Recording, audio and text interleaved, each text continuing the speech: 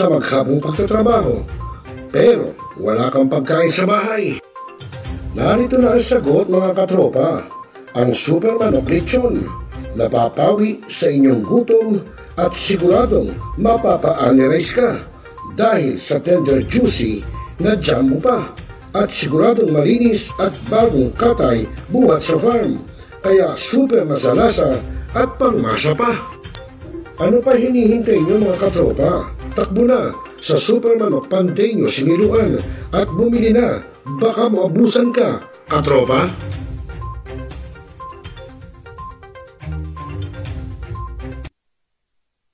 Now, uh, if, uh, so we are, uh, Talakayin. biggest destruction of dangerous drugs worth 1 Rebisahin. Opinyon. Malawaking. Aksyonan. Kasama si Rosel Lopez, ang inyong katropa sa pagbabalita. Dito lang sa Millennial Online TV. Tutok na mga katropa! Barangay, pangunahing unit ng pamahalang lokal kung saan dito pinag-uusapan ang bawat sigalot ng mga residente ng bawat barangay. Dito rin pinag-uusapan ng mga piling hanggang na opisyal na barangay ang mga proyekto para sa kanilang barangay. Kumustahin natin ang panunungkulan ni Kapitan dito sa Dama Barangay sa Millennial Online TV Worldwide ang katropa ng bawat barangay. ating tinatapos ang ating uh, uh, pagpupulong. Maraming salamat po sa inyong pagdalo at uh, tapos na po ang ating uh, session. Enjoy na po. Hanap mo ba ay Unwind Ventures? Tara nang mamangha sa mga tanawin.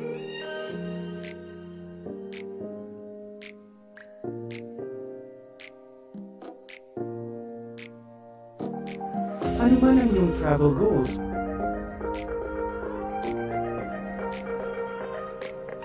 Dadalhin namin kayo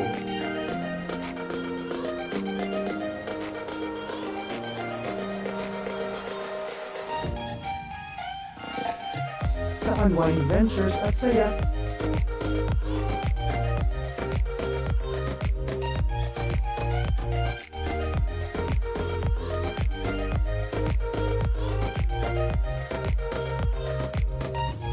Dito lang sa Wow Biyahe.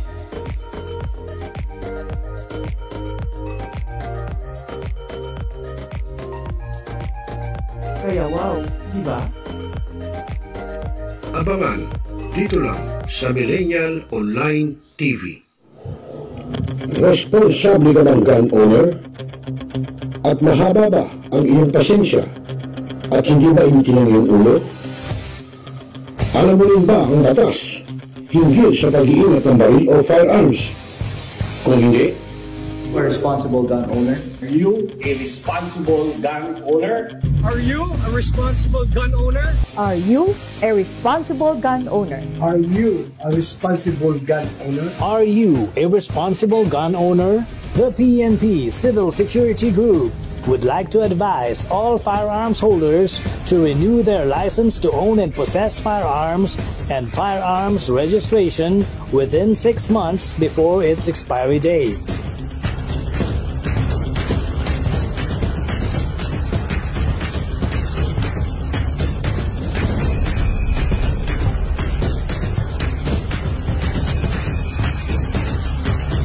Tumawag na at makipag-ugnayan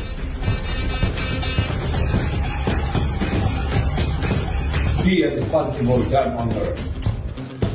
One Gun Pilipinas ang sagot mga katropa at kaganos. Tayo ituturo sa inyo ng One Gun Pilipinas o OGP ang lahat ng legal na paraan at proseso upang ikaw ay maging isang responsableng gun owners.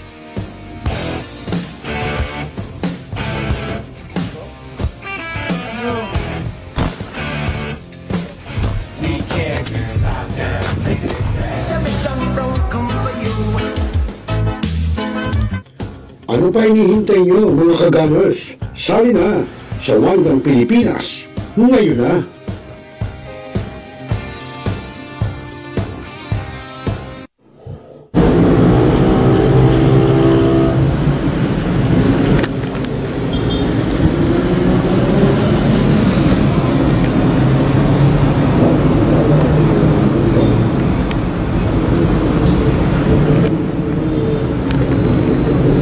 Alright.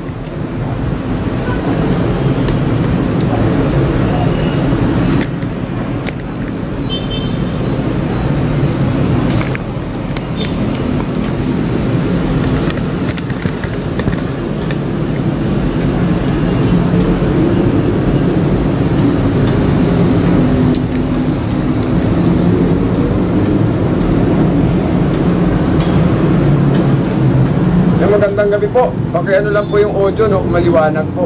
Kung loud and clear tayo ngayong gabi, no? Sensya na kayo, medyo siniset up ko tong ating camera, no? Yeah.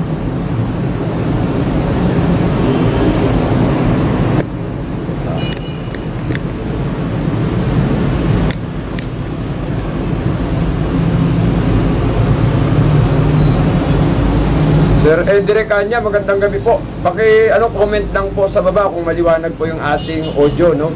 Mga kapatid, no? Ulit asi kung okay yung aking audio. Kung naririnig po ninyo ako, paki ano lang po. Paki comment lang sa baba kung okay po yung audio natin.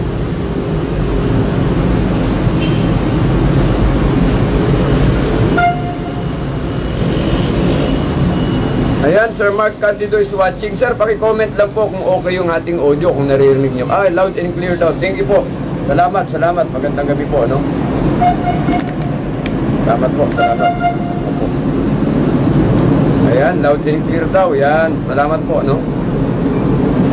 So, bati tayo, no? Bati tayo sa mga kasama natin na si Sir Mark Candido is watching, si kapatid na RB Sentimar, si Sir Pat Esgueras, si Andong, good evening po, Sir Admin Corexman, sabi niya, no? Yan, mabuhay po tayong lahat, magandang gabi, Eddie Ricanya.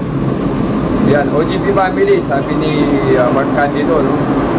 Si JJ, si Ayala Andrew Carmelo, from Quezon itong ating ah, kapatid, no? Sa uh, Wangan Pilipinas, Quezon, ayan, may Quezon na tayo, may Laguna pa, no? Ah, we're still growing, mga kapatid, no? Yan. Si Romel Pasawol, magandang gabi po. Maganda daw yung maganda daw yung audio, no? Yan, okay yung audio natin. Very good po, no? Magandang gabi, Nonoy Infante. Magandang gabi po sa ating lahat, ano? Ayan. Si Sir Pat Esguera, good evening po. Paki-share po yung live natin, no? Para yung mga kapatid natin na, ano, no? Na hindi pa naka-online, hindi po nanonood ngayon, malaman nila tayo are online, no? Para, yan, makasama natin sila ngayong gabi. Yan. Live na po tayo, live na tayo, no?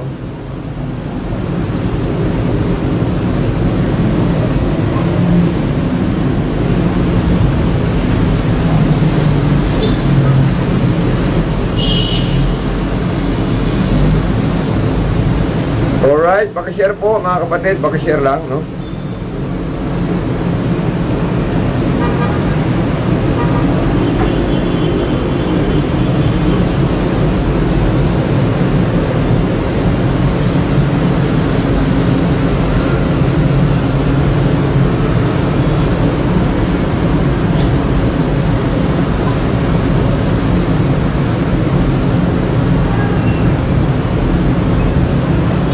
So, yun.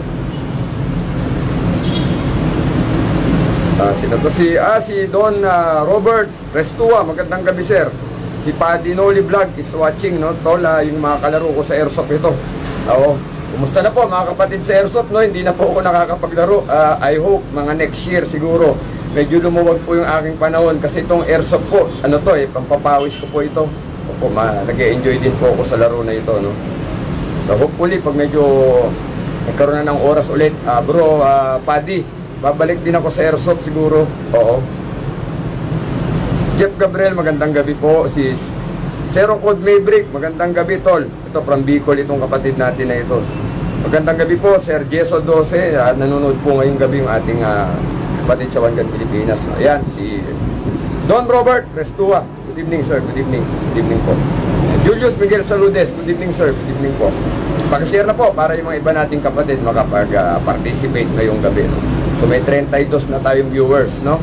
Rodolfo Diso Nazareno, magandang gabi rin po sa inyo. Salamat po sa panonood sa pag-antabay, no? Maganda yung topic natin tonight, no? Maganda po ito, no? Sana makapag-dagdag uh, ng kaalaman din sa atin, ano? Yan, si Jeff Gabriel. Good evening, sir. Good evening. Yan.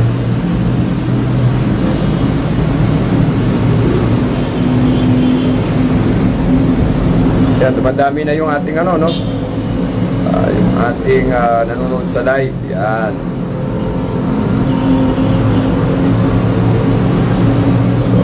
meron na tayong uh, how many viewers? 35 viewers so far, no?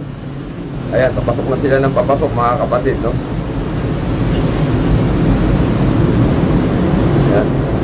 Invite natin yung mga tropa. Uh, alam nila na tayo ay naka-live tonight, no? Oh, huh? Pag-share lang po mga kapatid, no?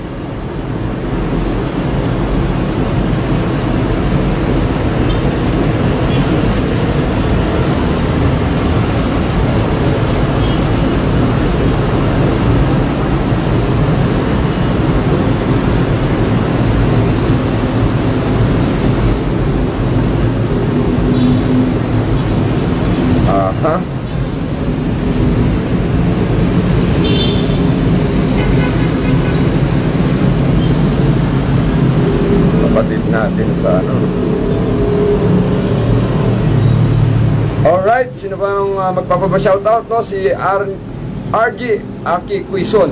Magandang gabi sir. Magandang gabi po sa inyo. Yeah. Si Jammer Hamer Ardenya. Magandang gabi. Si Benjak Nosi. Good evening po. Thank you for watching. No? Diyos Bibolate, Carl Roger Reyes, Nene Bob, Mesolas, Mesolas Gerard Asaitono, Mark Motosinho, Mark Angelo, Federico. Magandang gabi sa inyo. Sir JC Cantos, uh, good Good evening po. Salamat sa panonood, sir, no? So, yan, no? Mga kapatid, no? Alright. So, may 54 tayong viewers ngayon. Uh, dumadami pumapasok sa live natin, ano? Marvin Com, uh, Comia. Comla, magandang gabi po. Si Kajis Radic, magandang gabi. Si Ribong Linti, thank you for watching, sir. Kausap ko noong nakaraan, ano? Glorious Aris, si Calibre 34, ang Siano, si Resti Arellano. Sir, good evening po. Thank you for watching, no? Ayan. Mga kapatid natin sa Bulacan, eh, pumapasok na sila ngayong gabi, no? Jonathan Pelayo sa Hermonia, magandang gabi sir. Good, good evening. Good evening po. Thank you for watching po. Thank you for watching mga kapatid. Yan. Ay hindi pa tayo na shout out siguro no? Si Ariel Paulo Andres magandang gabi sir. Si Kuya Oscar de los Reyes magandang gabi po sa inyo no? Si Chirico Toji Chikan Kishi. Good evening sir. Good evening po sa inyo. Thank you for watching po. Yan. Long live Buanigan Pilipinas sabi ni Sir Eddie na Recanya no? Uh, Chris um, Gardner good evening po Jesus Felix Kapule, magandang gabi. From Bulacan po yan, si Sir uh, Kapule, no? si Sir Felix. Asawa po ng Ma'am Mila. Oo, magandang gabi sa inyo. Yan. Pasensya na kayo, konting refreshment lang no, mga kapatid, no? Baka matuyan tayo ng laway, no? Yan. Andong, magandang gabi, magandang gabi. Uh, One Gun Pilipinas Laguna Chapter, yan. So, share ko lang, no, bago tayo magsimula, last kahapon, no? Uh, habang nasa kalsada tayo kahapon, uh, may escorting po ko, may dinadala kaming uh, PDL, no? Uh, meron kami inescortan pong PDL doon sa Malabon, uh, Abrang Quezon City, no? So, share ko lang po another, ano, no? Uh, muntik ng road rage incident, no? So, habang tinatahak po namin yung Visayas Avenue, no? May may taxi po na busina ng busina, no? Busina po ng busina yung tao. So, kahit anong sasakyan, binubusinahan niya, no? Ang lakas po ng busina.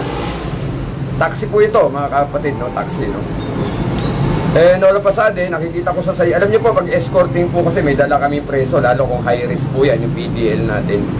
Ang alertness po natin yan, dapat mataas, no? We are always on, on the guard. High alert ang ating senses, no? So ako po, pag ganyan, malikot ang mata ko, side mirror, anything. Eh, ako po yung ano, team leader ng uh, grupo na mag-escort po sa Malabon, no? Uh, yun na. Etong taxi po na ito, busina siya ng busina, mga kapatid, no? Now, lahat po, motor. Ultimo po yung van namin, binubusinahan po niya. Eh sabi ko rin sa driver po natin na GO1, sabi ko bro, uh, paunahin mo na nga at hindi naman tayo nagmamadali. So lumusot sa amin ngayon. Pagdating po sa parteng uh, stoplight sa Visayas Avenue, huminto po ngayon. Itong mama na taxi driver, busina pa rin ang busina mga kapatid. Ano? Sa harap niya, meron pong Ford Raptor, no? May Ford Raptor sa harapan niya. Uh, nung mag-go na po, eto na, go na po kami, go na. Alam niyo po ba nangyari, yung Ford Raptor po, bigla siyang pinrenuhan, ano? At buti po, nakapag-preno rin itong taxi, no? Kung hindi, sa pool, no? Sa pool niya yung Ford Raptor, no? So, nagtataka ko po kayo, bakit ko sineshare to, no? Mga kapatid, no? Bakit ko sineshare ito? Bigla pong pumreno yung Raptor, eh, no? Nakita ko po, it's something intentional, no? Something intentional. Apo.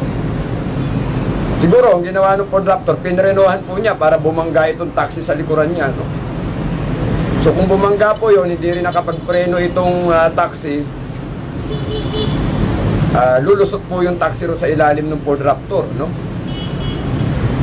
So ano pong ibig ko sabihin, no? Pinatulan po ng Ford Raptor yung taxi, no? Pinatulan ng Ford Raptor yung taxi. Pagpreno, nakapreno yung taxi, bumusina yung taxi, inunahan po yung ano, no? Yung Ford Raptor. And nakita ko, umabol din yung Ford Raptor. Hindi na natin alam kung ano nangyari, no? Pero wala naman sigurong barilan. Wala naman tayong nabalitaan, ano? So, bakit ko po to sineshare, no? Bakit ko to sineshare? Maliit na bagay lang po sana yon ano? Maliit na bagay yon no? Pero minsan po kasi yung tinatawag na display of arrogance, mga kapatid, no? Yung tinignan ko po yung taxi, wala naman sakay, no? Bakit uh, busina po siya ng busina or nagmamadali? Hindi natin alam yung reason, no? Hindi natin alam yung reason ba't nagmamadali ito si taxi driver. No? Ayun na nga po, may nairita na. May nairita na sa sakyan, ano, sa kanya, sa tao rin. Kakabusina po niya, no? Kaya po prininuhan siya. Sudden uh, break. Sudden break po yung ginawa. Uh, mga kapatid, no? Ulitin ko, no? Yung behavior natin sa kalsada minsan, hindi natin alam, nag invite na tayo ng trouble, no? Maaring nairita na po yung naka-Ford yung naka-pick no? Sa kanya, no? So, kung bumangga siya ron, binigyan siya ng sakit ng ulo ng naka-Ford malamang, no? Sakit po sa ulo yun kasi babangga siya ron sa likod ng pick up, no? Ulitin ko, bakit ko ito sineshare? May mga behavior po tayo sa, ano, no? uh, kalsada na hindi natin alam. Lalo po yung mga nagmamaneho na may naiirita na sa atin. No? Mag-iingat po tayo mga kapatid. No? Mag-iingat po tayo.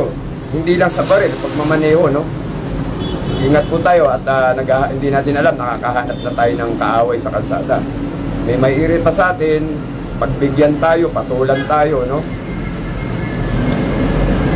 Sana nakaka-relate kayo sa mga ganitong experience. Ah, sabi ko nga rin sa kasama kong JO1, yung aking katrabaho, sabi ko, tignan mo itong mga tao na ito, di ba?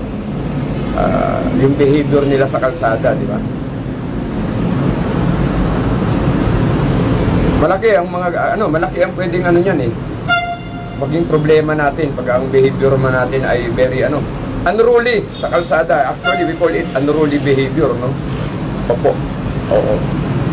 Something naive, no? At, parang ah, may mga tao po tayo na ano tayo, bibilihin po yung mga gusto natin, yung ating mga ganyang behavior natin. Baka patulan po tayo mga kapatid, no? Baka patulan po tayo. So mag-iingat po tayo sa pagmamaneho sa kalsada. We behave properly mga kapatid, no? We behave properly para hindi po tayo makapag-invite ng trouble, no? Sana po na ano, itong example ko lang na ito, experience ko kahapon. no? At uh, pagpulutan natin ng aral, yung mga simpleng ganyan, away po ang babagsakan yan, away po yan, no? Manolo Montoya case is watching, good evening po. Ah, yan, di ko mabasa para ah, shout out naman kay Renz Urbano. Yan, magandang gabi po, Sir Renz Urbano, no? Sino bang babatiin natin? Ah, marami na si Sir ano? Robert Special Gun Oil, ayan. Isa sa ating mga partner dito sa Gun Pilipinas yan, ano? Ni Sir Robert Arroyo Tan, no? Aha, babati tayo. Si Sir Arizo, yan. Si Sir Doubtless, JR Deles, magandang gabi po. Habaan lang po ang pasensya. Opo, opo. Kaya po inaikwento ko lang to yung nakita ko kahapon, ano, no? Ah, talagang, ah, maski po, nagulat ako kasi pati po yung sasakyan namin, Mark Vehicle po yun, talagang binubusinahan itong mama na ito, no? Eh, seems like siguro may emergency siya, no? Eh, tinitignan, pagtingin ko po, wala naman siyang pasahero, no? Mga anak ba o dadalhin sa ospital? We do not know, no? Ba't nagmamadali ang tao, no? Ah, talagang ah, busina siya ng busina, no, mga kapatid, no? Kami nga po ay mark vehicle na. Sabi ko sa driver, paunahin na nga natin ito. Sabi ko, ah, gilid ka ng konti, paunahin natin para mauna na siya. Kung saan man niya gusto pumunta, mga kapatid. Ano? Marabel Aquino, yan. At aking ah, classmate sa Criminal Crime Investigation and Detection Course sa Camp Vicente Lim at ah, kasamahan sa BJMP. Magandang ah, gabi kapatid, Marabel Aquino. No? Ah, si JJ, magandang gabi. Magandang gabi sir. Si Red Bonoan, at magandang gabi po sa inyo.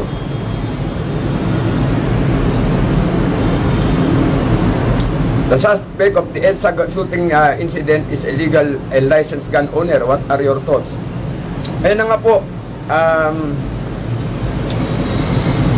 malungkot po yan para sa isang licensed gun owner na mangyari. Ano? Opo.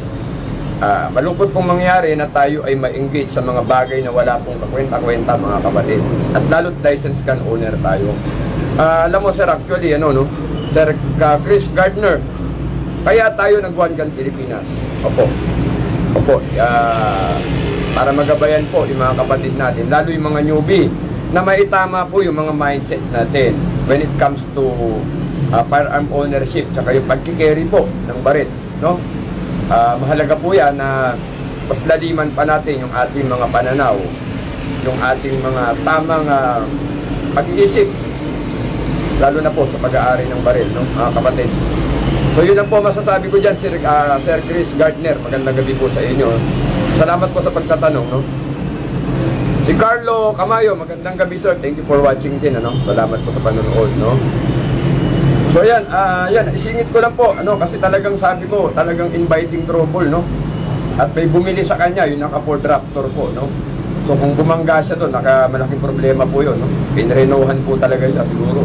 Intentional nung ano, na bumangga ka sa akin para makita mo, bibigyan kita problema. Sabi siguro nung driver ng Ford Raptor, mga kapatid, no? So yun.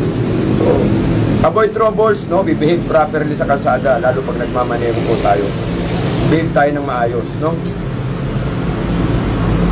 Ang busina po kasi talaga, ginagamit lang yan kung dapat gamitin, no? Hindi po sa kung ano-ano nating ano, ah, arroganting behavior, no? Sa kalsada, no? Ako po, ako po yung tao, ako po yung rider ng motor at saka yung nagdadrive ng kotse, no? Na birang-bira po kung gumamit ng bus busina. Birang-bihira po talaga. Kasi may mga taong naiirita sa busina, mga kapatid, no? O yung busina tayo ng busina, may mga naiirita dyan. Baka mamaya bumisina ka, akala niya siya yung mo, magalit, no? So, yun nga po, ah, mag-iingat tayo mga kapatid, no?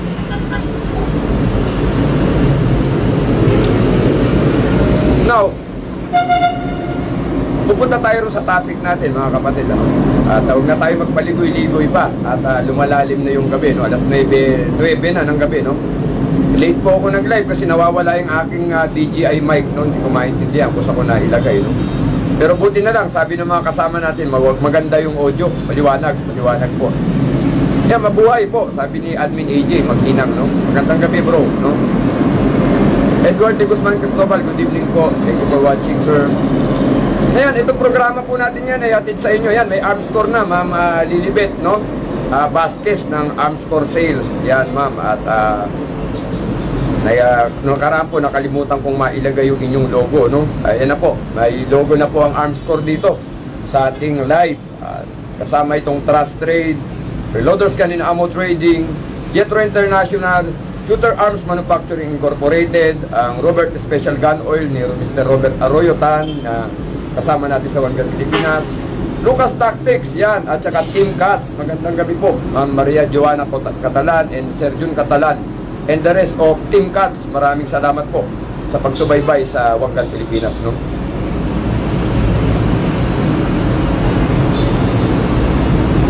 Alright, no? So yan, ang nanonood sa atin ngayon, nasa 77 ng nasa live, no? So pwede na tayo magsimula, mga kapatid ko, no? Simula na siguro tayo. So, ang topic natin ngayong gabi, ano ba ang gagawin natin? Ano ang dapat natin gawin in case may engage tayo? Na ito ay self-defense ha, mga kapatid, liliwanagin ko ulit kayo, ano? Ito tayo ay na-engage na self-defense po, hindi road rage mga kapatid ha, hindi away kalsada ha, ah, hindi away kapitbahay, no? Self-defense po ang pinag-uusapan, no? Hindi po yung tayo ang nag-engage, no? Iba po yung nag-offense at nag-defense. Malaki po ang pinagkaiba, no? So, maliwanag naman namin sinasabi sa inyo, no? Kapag tayo nakapag-establish na at ah, okay na yung legal team natin, in case of self-defense po, we will do our best to provide po kayo ng lawyer dito sa Gun Pilipinas. No? Pero sabi nga natin, pag hindi po self-defense yan, ah, hindi po natin hindi po namin para konsintihin na tayo ay magbigay ng ah, legal ano assistance sa mga ating mga member. Ah, liliwanagin ko po. Self-defense lang po ang ang sa kaso lamang po ng self-defense kami magbibigay ng legal assistance. Tatanungin niyo po kung bakit ano? Ah, kasi oh, kung di self-defense, binigyan namin kayo ng lawyer, mangyayari po yan. Aabusuhin tayo, no? At tatapang kong mga member natin na magalala, barilin ko yan. May abogado naman ng One Gun Pilipinas, no? So, hindi po pwede yun, mga kapatid. So, iliwanagin namin, kaya namin kayo tinuturuan ng batas, ng self-defense, ng mga gagawin, yun lamang po ay sa self-defense case. Doon lang po tayo magpo-provide ng legal assistance in the near future. Pero pag kayo po ang nakipag-away, kayo ang nag-offense, kayo ang nanguna, at makikita namin na hindi self-defense ang kaso nyo, wala po kayong legal assistance mga kapatid ko sa Gun Pilipinas, no? So yun po yun, sana maliwanag mga kapatid, no? Ang legal assistance natin for self-defense only. Pero pag kayo po ang nagsimula ng gulo, sa inyo nang galing ang ah, ah, engagement, ang dahilan kung ba't nagkaroon ng barilan, uh, pasensyaan po tayo, hindi po tayo magbibigay ng ayuda mga kapatid, no? Ulitin ko po kasi maaabuso tayo pag ganun. Pag wala tayong patakaran. Hmm? Baka lumaki pa po ang mga ulo ng member na abogado naman tayo, huwag kayong mag-alala, no?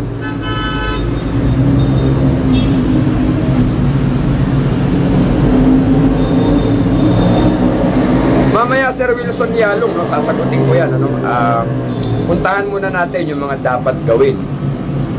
Ah, sige, sagutin na natin yan. Ano? Sige, para bago magkapagsimula na tayo. Para dire-diretso na tayo siguro.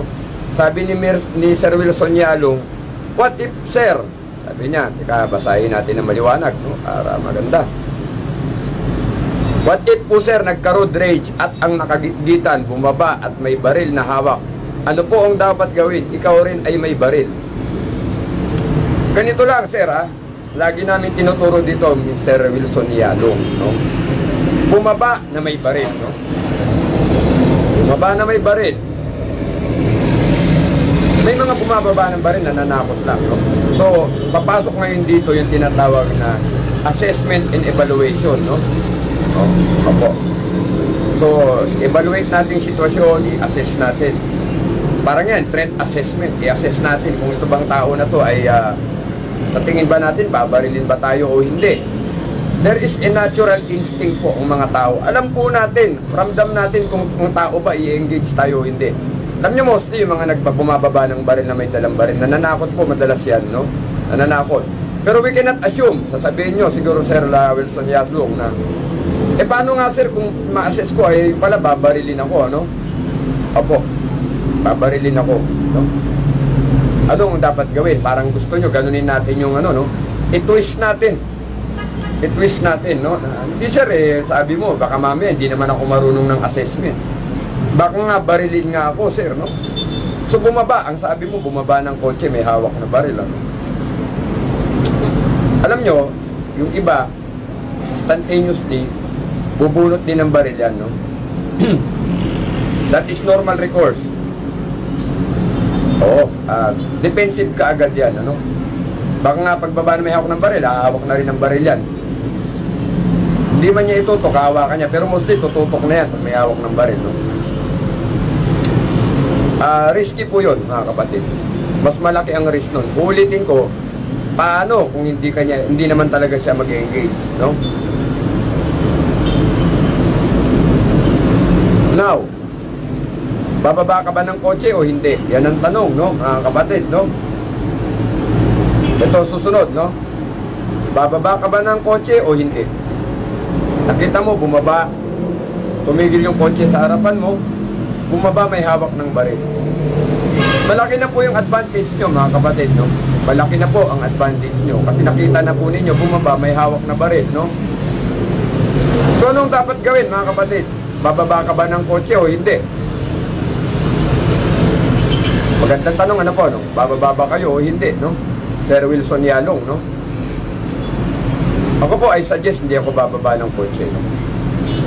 At maganda po kung may kasama kayo doon na may cellphone camera. O kung ang kotse naman po natin ngayon, halos lahat na mayroong tinatawag na ah, yung ating uh, camcorder, no? Meron tayong mga camcorder sa kotse, nandu- mostly nandoon yan sa ating ah, rear ah, mirror ah, visor, no? Nakalagay yan doon. Itutok nyo na po yun doon. Galawin na po ninyo yung inyong camera.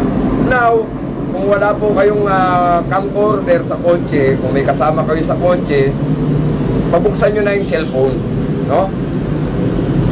So, bakit? Bakit ba kailangan gawin yon? Mag-document na po kayo.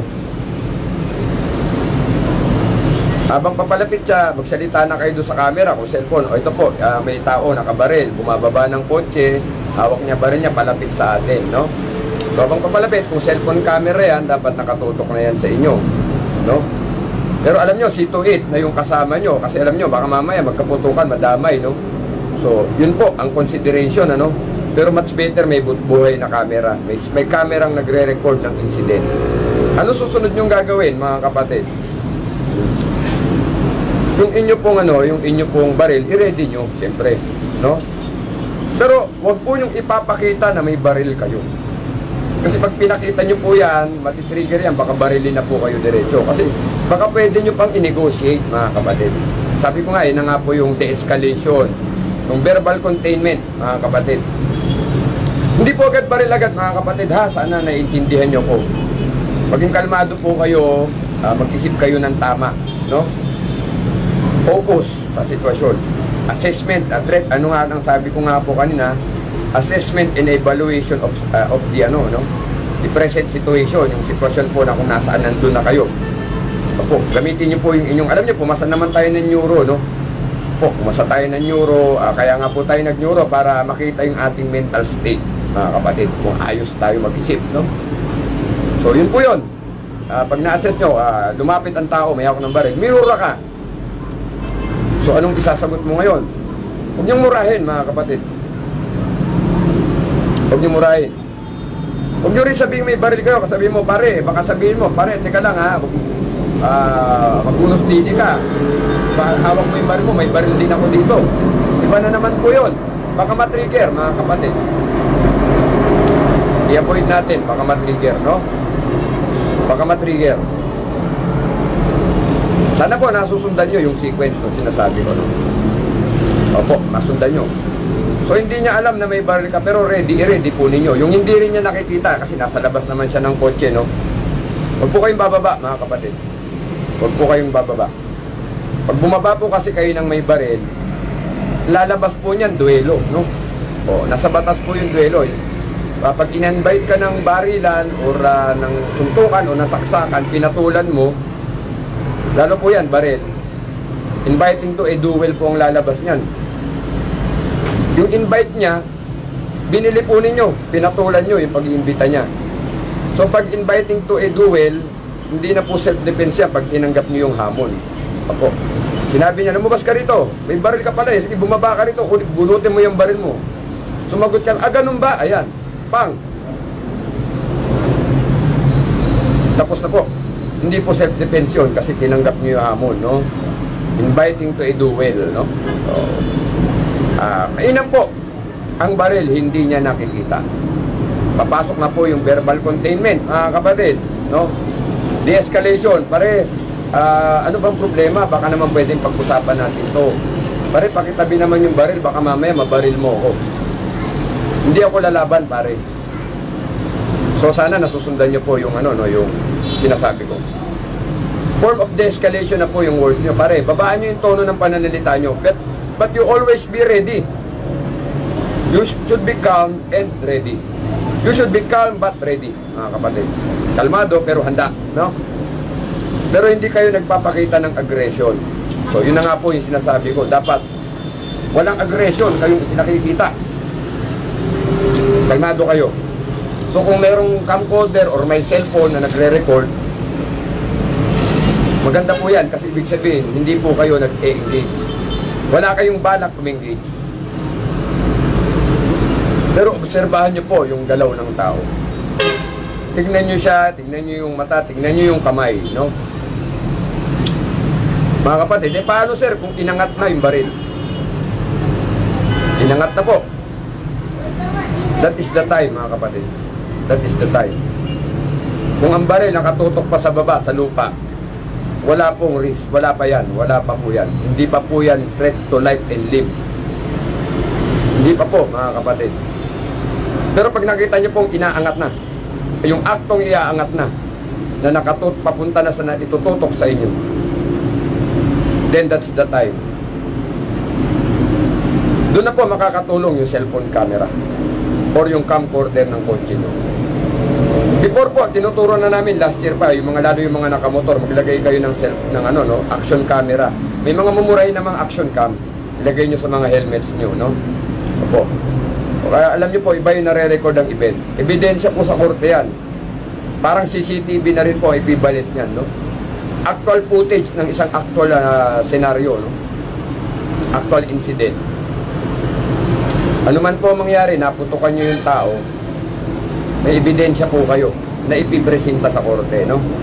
O sa piskalya pa lang po mismo. Kasi hindi naman po korte kagad. Pag kinasuhan kayo, piskalya muna, no? So may pakikita kayo sa piskal.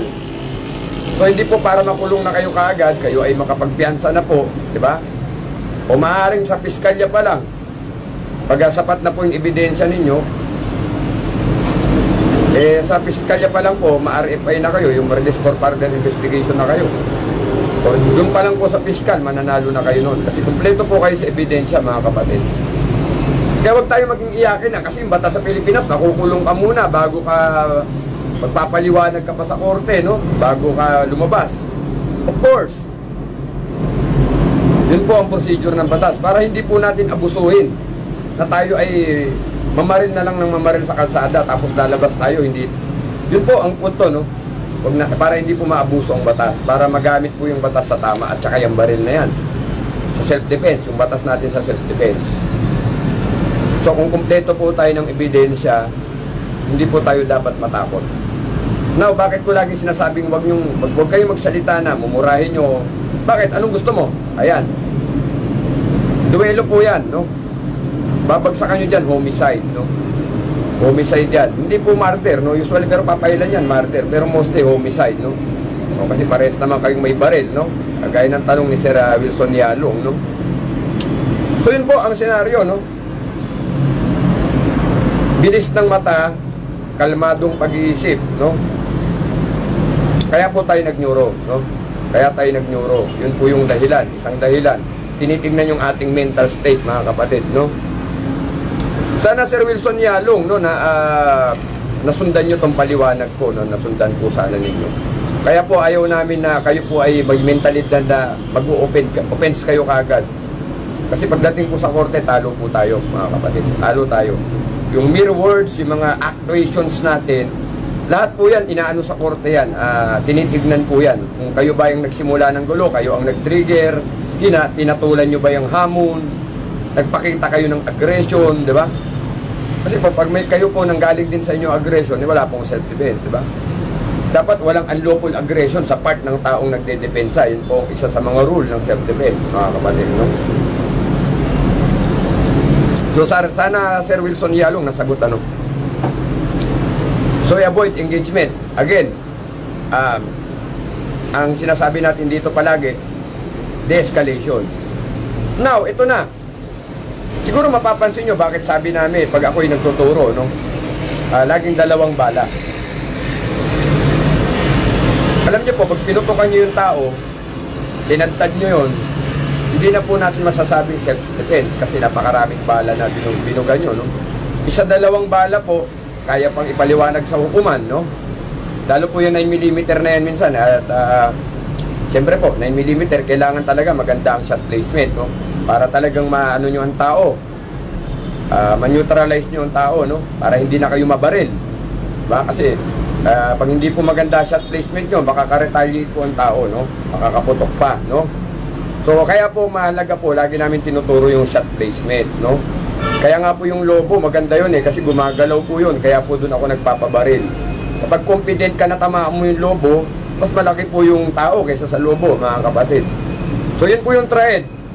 Tinuturuan namin kayo ng mga ganito, ng mga pamamaraan, para po kayo ay makaligtas sa asunto pag nagkasuhan na, no? Pangalawa po, yung skill. So hindi po pwedeng panood lang kayo ng panood sa live na alam nyo tong sinasabi namin, alam nyo gagawin, pero wala po kayong skill, no? Hindi mahina kayo sa shot placement. Pag mahina kayo sa shot placement, ang gagawin niyo, pag nataranta po kayo, tatanta rin na po ninyo yan. Eh, doon na po, hindi papasok ang uh, self-defense kasi ang daming bala na po ang binugal ninyo, mga kapatid. No? Sana po, nagkakaintindihan tayo, no? Kaya sabi ko nga po, itong component ng triad, dalawa ito. Itong uh, panonood nyo sa live, yung pag-input namin sa inyo ng what to do, anong gagawin just in case, at yung skill po sa firing range. So eh, mga kapatid, sana maliwanag po no at nasundan niyo yung aking paliwanag, no?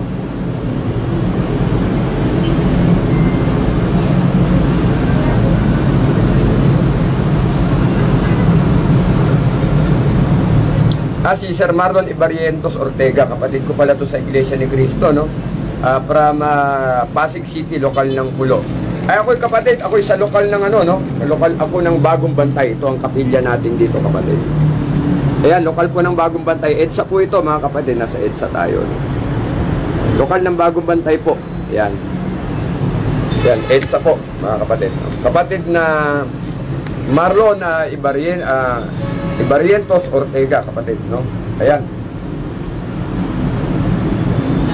Magandang gabi din sa iyo, sir. Si Sir J. Deles pala ito. Oo. So, basa muna tayo ng shoutout, no? Ah, cellphone tututok. Ah, okay. Yan, okay. Wow, dami viewers, sabi ni Admin AJ. No? John Wick Bugiman, magandang gabi. Si Sir Hammer Ardena. Ah, kaya ako instead na bumunot, hinayaan ko na lang. Pero pag nakulit talaga, hugagan ko talaga siya ng pepper spray. Ayun, pepper spray daw. Yan, yan. Non-lethal option ang pepper spray, mga kapatid. Ah, yan. Pwede pa yan, no? Pwede pa yan. May plain view naman sa loob. Okay. Plain. I don't know bakit mo nasabi may plain view sa loob. Plain view naman sa loob, ano? Cellphone pala to, tutok. Ayan. Wow, dami viewers. Ayan.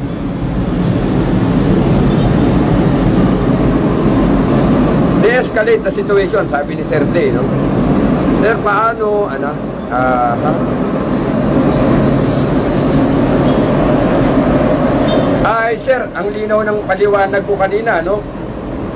Pag tinutok na po yung baril, iba na po yun. Ah, hindi po hindi na po ano yon, risk na risky na po kayo doon. That's the time na po na pwede na kayong bumunot, mga kapatid. Yun po yung indicator na nasa risk na kayo.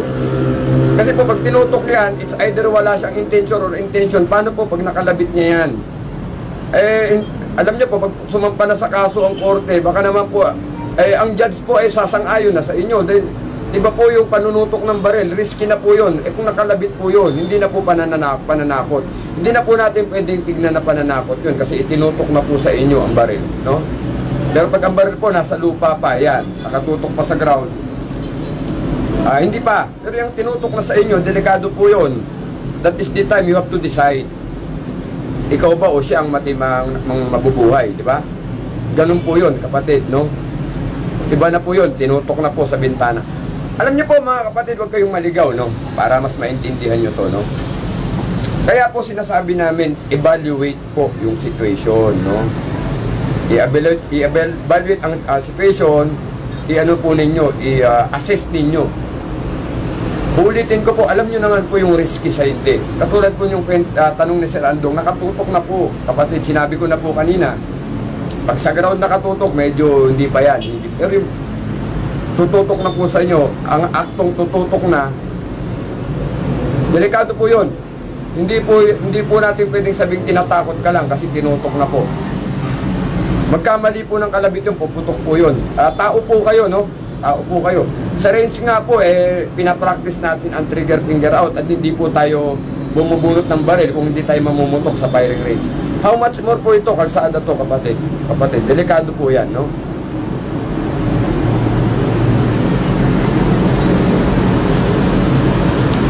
Si Sir Dante Eloso naman, kasasabi ko lang, sir, no? Kasasabi ko lang.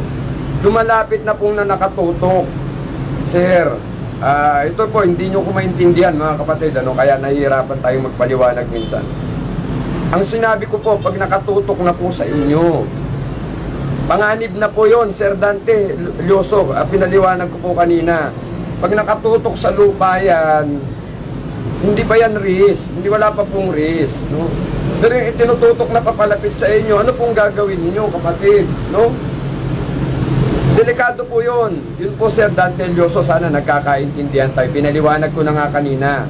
Pag nakatutok sa ground ng baril, hindi pa yan. Pero pag yan, aktong itututok na, inangat na po, papunta sa inyo, ano pong gagawin ninyo, mga kapatid? Kaya tinuturo ko yung draw and fire drill. Kasi ang hold baril, nasa holster, o kaya nakatago, pag bunot, diretso putok. Sana maliwanag Sir Dante de Los Del Yoso, Elioso no Sir. Ah, Sir Andong, kapatid na Andong no. Iba po yung tinututok, iba po yung nasa ground pa, binitbit lang po. Yung tinutok po risky yun. Sinabi ko na po kanina mga kasama no. Iba po yun. Sana Sir Dante Elioso naintindihan po niyo yung paliwanag ano. Opo, iba po, iba po yung nakatutok pa sa ground ang baril at tinututok na po sa tao. Opo. Hindi na po normal yun na hindi kayo magre-react. Kasi delikado po yun. Hindi nyo po hihintayin putukan kayo mga kapatid. Hindi nyo na po hihintayin yun para gumanti kayo. The moment po na tumutok na ang baril sa inyo, delikado na po kayo nun. Delikado na po kayo.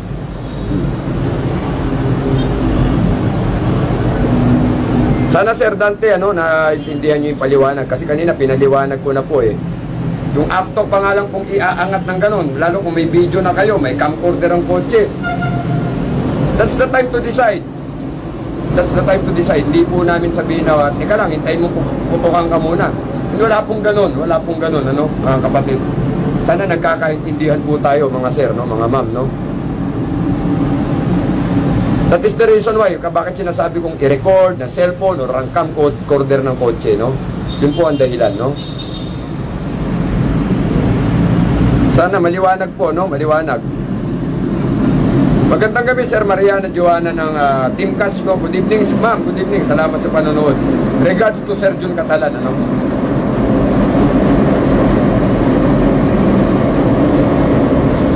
Actually, ang sinasabing rules of engagement na yan, kapatid na Santos Mirandilla, uh, sa civilian, uh, sa PNP kasi, Na- under po yan ang tinatawag na Police PNP ah, POP, yung Philippine National Police Operational ah, Procedure. Yan, nandun po yan. Ah, yung ah, operational manual ng PNP. Ganon din ang BJP, meron po kami niya. Almost magkakamukha naman yan kung anong dapat i-apply natin just in case na may engage ang isang law enforcer, no? Ah, operational manual ng PNP POP. Kami naman operational manual ng ating ah, BJMP, no? Mm. Pero actually, that, yung rules of engagement, de generic na po yan, no? Generic yan. Ah, sa civilian po, ah, kasi hindi naman po kayo ay under ng ahensya ng kung anong gobyerno, revised penal code po natin. Opo. Ah, may tatlo pong uri ng self-defense, no? May tinatawag po na um, defense of stranger, defense of relative, tsaka self-defense. Yan yung mga uri ng pagtatanggol, no? Yan po yan, mga kapatid, no? So, nasa revised penal code po natin yan. Yun po ang nag-govern. Kaya dati po, tinuturo na namin paano, ano po yung mga elemento para masabing self-defense, di ba? Yung tinatawag na unlawful aggression, yung tinatawag na necess- necessity to prevent and repel it, no? Ito po. Yung ah, tinatawag na yung lack of ah, sufficient ah, provocation. Yung ibig sabihin, hindi naman talaga nangyari nanggaling sa inyo yung ah, pinagmulan ng isang ah, gulo o ng awayan o ng patayan. Hindi po kayo ang pinagmulan, no? Para ma-invoke nyo po yung self-defense ah, na depensa, mga kapatid. Depensa po kasi yan. Ay patutunayan nyo sa korte yan. Yung magpapatunay na self-defense yan, nandun po yan sa taong uh, sa suspect, sa akusado, mga kapatid, sa akusado po. Kayo po ang magpapatunay sa korte niyan.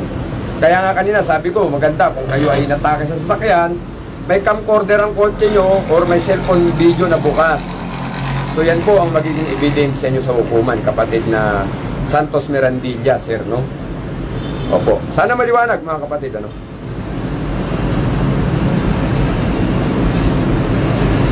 So, ah, tuloy natin yan. Maganda rin lang nabuksan ng kapatid na ano.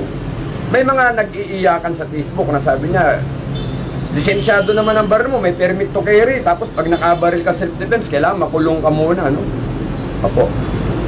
Buti pa yung mga pulis, pag ganyan, hindi. Parang okay lang sa pulis pag nakabaril kasi pulis naman sila o BJMP sila or ah, sundalo sila, ba? Or NBI sila, no? Hindi po ganun ang ano niyan, ang totoo na panan na ito itama natin yung pananaw mga kapatid. No? Itama po natin. Alam niyo po, ah, ang isang law enforcer in the line of duty nakabaril po yan, no? In the line of duty meaning work related po. Na-engage po siya in the performance of lawful duty, nakabaril siya ng tao. Sabihin na natin, nakapatay siya, no? In the performance of lawful duty. Hindi naman po na okay na kaagad yun, mga kapatid. Bakit? Ang baril po niyan, ibabalistics po yan. At yung personnel, yung police ba yan, o law, enforcer, law enforcement officer na nakabaril, iimbestigahan din po yan. Iimbestigahan din po ng unit yan. Kung kanyang, ang ginawa ba niya, eh ano pa, sakop pa. Yung sinasabi kanina ni Sir ng rules of engagement. Sa atin naman, sa amin naman, operational manual. Or sa PNP naman, yung POP, yung Police Operational Procedure. Titignan po kung walang tinatawag na irregularity yung paggamit ng baril. Opo, iimbestigahan pa po yung police o yung law enforcer. Hindi po ganun yun na pagkabaril mo ng tao, pauuwiin ka na. Hindi po, hinuhold din po kami, iniimbestigahan kami. Tinitignan kung may pagkakamali o pagkukulang or may pag-aabuso sa paggamit namin ng baril ng uh, tinatawag na lethal force. Kasi pag nakapatay po kayo baril ang gamit, ang tawag namin dyan lethal force, no? Iimbestigahan po pa rin kami. Alam nyo po ang mga masakit dito, mga kababayan. Pag kami po ay nagkamali, dalawa po ang kaso namin. Kasong kriminal at kasong administratibo. Samantalang po kayo, mga sibilyan, kasong ad, ano lang po kayo, criminal case lang po sa inyo. Sa amin, administrative po yan. So kung may pagkakamali kami, there is ano, no, irregularity. Sabi nga, may negligence. So there is accountability mga kapatid, may pananagutan kami, no? Uh, unang-una niya, masuspindi na po kami kaagad niyan, no? Hindi ka nasasahod kaagad, no? Habang iniimbestigahan ka. May, hindi ka na sumasahod, may criminal case ka pa. Ganun po kabigat sa amin sa LEA. Kaya wag po kayong magtatampo na buti pa yung pulis, yung LEA person pag na-engage. Okay lang. Hindi po yun okay mga kapatid. Hindi po yun okay kasi dalawa po ang kinakaharap namin pag nagkamali po kami sa pagtutupad ng aming tungkulin. No? Dalawa pong kaso yan mga kapatid. No? So yan, sana maliwanag po. No? Eh, siningit ko lang tama-tama yung tanong kanina ng kasama natin, ang kapatid natin. Ano? Opo. Ah... wala pong ano, there is no ano, no one is above the law. Pagdating po sa nakabaril tayo ng tao, it is either self-defense or in the performance of lawful duty, iimbestigahan pa rin po tayo. Iimbestigahan po tayo, no? Police law enforcer ka, civilian ka, wala pong nakakaangat sa batas, mga kapatid. Ang batas ay batas. No? Sana maliwanag po, no? Maliwanag po. Magandang gabi Sir Emerson San Juan ano, na ating uh, kapatid natin sa na OFW no. Crystal Heart Bardon, magandang gabi Sir, Ma'am. Ayan, good evening. Uh, Florius Aris, Bern Gonzales. Sir Wilson Yalong, sana nasagot po ng maayos ang tanong ninyo, no? Sana po at nakasunod po kayo sa paliwanag, no? Ha? Bati tayo ng pag-shoutout tayo, ba't malagpas? Si Sir Joel Tondo ng Little Sushi Bar, Munting Kusina ng Nasugbu. Magandang gabi, Sir uh, chapter leader natin ng Batangas. No? LBJ Quezon, magandang gabi po uh, from Rizal chapter. No? Yan. Alas de Espadas, yan, maraming salamat. Katatapos ng kanilang Piscotol Kinetic. No? Batch 2 yan na ginagawa ng ating uh, Cebu Sugpo chapter. Napakagaling, napakahusay ng ating ano, chapter leader ng Cebu. Ayan, tatahimik lang yung ating chapter leader niya pero man of action yan, man of few words pero man of action. Maraming ginagawa ang kapatid nating uh, Alas de Espadas, uh, Ace Rep 2 ng uh, Cebu Sugpo Chapter. Magandang gabi, Utol. No? Salamat sa suporta sa Gun Pilipinas. No?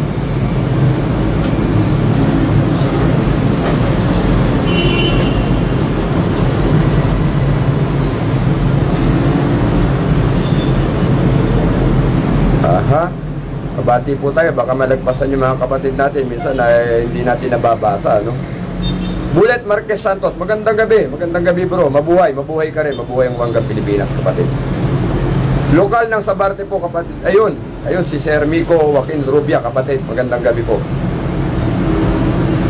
Ayan, Sir Andong, yan, i, i, uh, kapatid, i-discuss ko mamayang konti. Ano? Ayan na nga po, dyan, papunta tayo dyan sa home invasion. Uh, papasukin ng bahay natin, ipapaliwanag ko mamaya yan.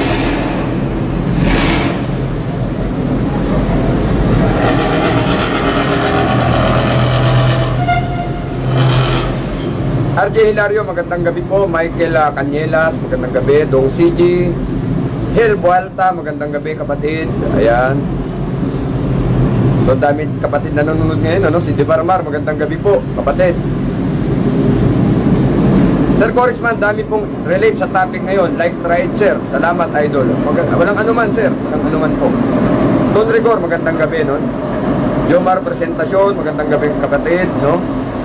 Dong CG, Ha? Ako, pasensya na kayo ha. Medyo na, alam nyo, medyo malabo na talaga po yung mata ko, no? Ay, nahihirapan na rin po ako. Kaya nga sana makapagpasukat na ako ng mata. Gary Mercado, magandang gabi po. Si Gobel, magandang gabi sa inyo. Dapat kunin ka ng AI ng GNTI, sir. Ah, darating po tayo dyan at kinakausap din naman po ako ng mga taga GNTI, sir. Ay, ang GNTI po, training center naming mga BGMT yan, ano? Apo, ah, may kumausap na rin po sa akin dyan. Hayaan nyo, uh, sir, at uh, uh, darating po ang time dyan. Magtuturo rin po ako sa training center natin sa BJMP. No? Uh, darating po tayo dyan, sir. Darating po tayo. Gardy Ramos, magandang gabi po, sir. No? Yan. Vladimir Perez, magandang gabi din po sa inyo. From Sambuanga pala si Sir Vladimir Perez. Ganda po ng view nyo dyan, kapatid. Kita nyo lagi ang kapilya. Opo, opo. Uh, good evening sir, matagal na po ba magpa-change address na sa firearm? Hindi naman po, pag basta kompleto po kayo na requirements sa FEO naman, madali lang po yan, mabilis po yan. No? Mabilis po yan. Ang aking inaanak, si Frank Martin, no? Magandang gabi, nak. Thank you for watching. Si Jerome ay nanonood din, ano? Salamat po sa panonood. Ayan. Sana nabati ko lahat. Sana walang lumagpas, no? Kay Robin HP, good evening po. Yan, so... Shoutout tayo bago tayo pumunta sa susunod. Si Sir Pep Juan, magandang gabi po. Bati tayo, baka malagtapasan natin si Sir Harold Bermudez Lucas. Magandang gabi sa inyo, sir. Si Todd, si Todd Di, Di, Dito Garcia. Ayan, nanonood.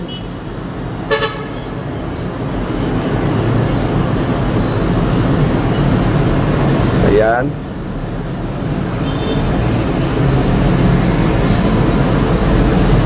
Sana po nasusundan nyo yung paliwanag. Ano? Pag nakatutok na po, ibang usapan na po yun, mga kapatid ha. Risky na po yun. Risky na po yun.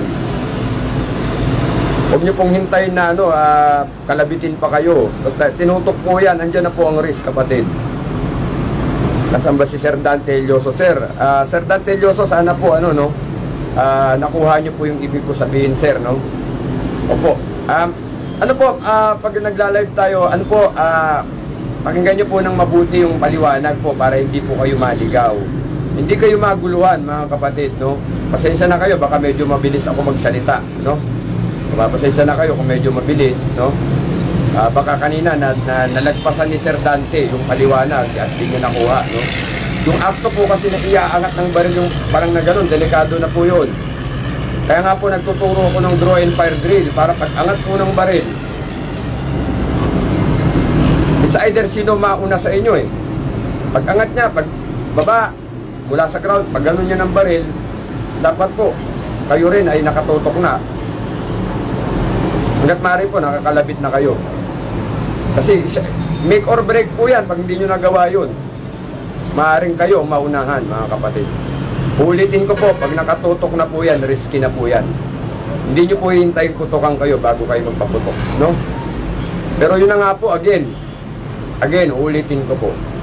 Basta kaya pang i-escalate, you watch your word. Baka kasi mag-instigate pa, lalong magalit sa inyo. Kaya nga sabi ko, Sir, baka naman po pwedeng pag-usapan natin, huwag naman, huwag naman po tayo umabot sa barilan. Sir, hindi po ako lalaban. Yan.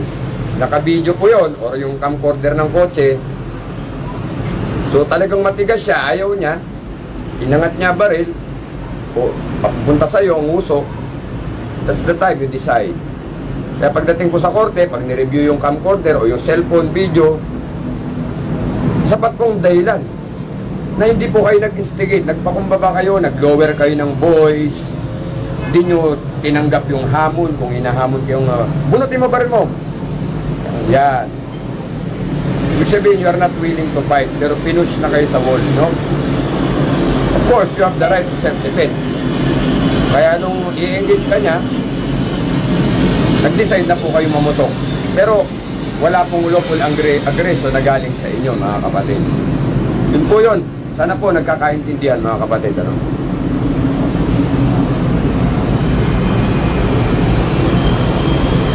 Yes sir, uh, Sir Eric, yun na nga po, kaya po nandito ang Gun Pilipinas. Ayaw po namin kayong mapahamak. Opo, ito po ang purpose, no? Ayan na naman, babalik na naman tayo dyan sa sumampang magnanakaw. Ayan, natin, sige, basahin natin to ha. Marami na pong pagkakataon, pinaliwanag na namin ito. Ayan, ang ating ano, no, chief legal natin. O, attorney Honey Boy, sana kung may mali akong sinasabi, please correct me, no? Ito, abogado talaga itong ating kapatid na Honey Boy Descalar. Ito ang ating chief legal ng Gun Pilipinas, si uh, attorney Honey Boy G. Descalar, no? Yan ang ating uh, lawyer dito sa Gun Pilipinas, no? O, kasama po natin ang uh, attorney Ramil Gabaw, no? Ang attorney uh, Melchor Orap, ang attorney Nolbet Banaw, yan ang mga lawyer natin, no? Dito sa Gun Pilipinas. Yan. So, keep up the good work, bro, correctsman. Sabi niya, no? Bro, baka may mali ako sinasabi, please correct me, ha? At ayan. At uh, sana malang uh, tama itong pinagsasabi ko. Pero alam nyo, ito kasi ine-explain ko sa inyo, situational po ito. At uh, ang inyo pong lingkod naman ay naka, naka, umabot naman tayo sa tatlong taon sa College of Law. Kaya alam nyo po, maingat din po ako sa pagtuturo. Kasi nga, kaila, ano, buhay na po ninyo, nakataya rito. Pag nagkamali kami ng turo, eh ang end up nyo sa likod ng gulo ng ano ng rehas na malamig na rehas no so we are very much careful pagdating po sa pag-advise lalo po sa ganitong situation no mga kapatid no Kanina sabi nung isa nating member no paano pag may umakyat daw na magnanakaw ayan na naman tayo no Aha, teka ha, hanapin ko nga yung tanong, naguguluhan. Pasensya na mga kapatid ha, mata ko talaga, may problema na ako eh. Hanapin ko po ulit, maganda yung tanong na naman ng isa, may umakyat daw na magnanakaw sa sasakyan, ano?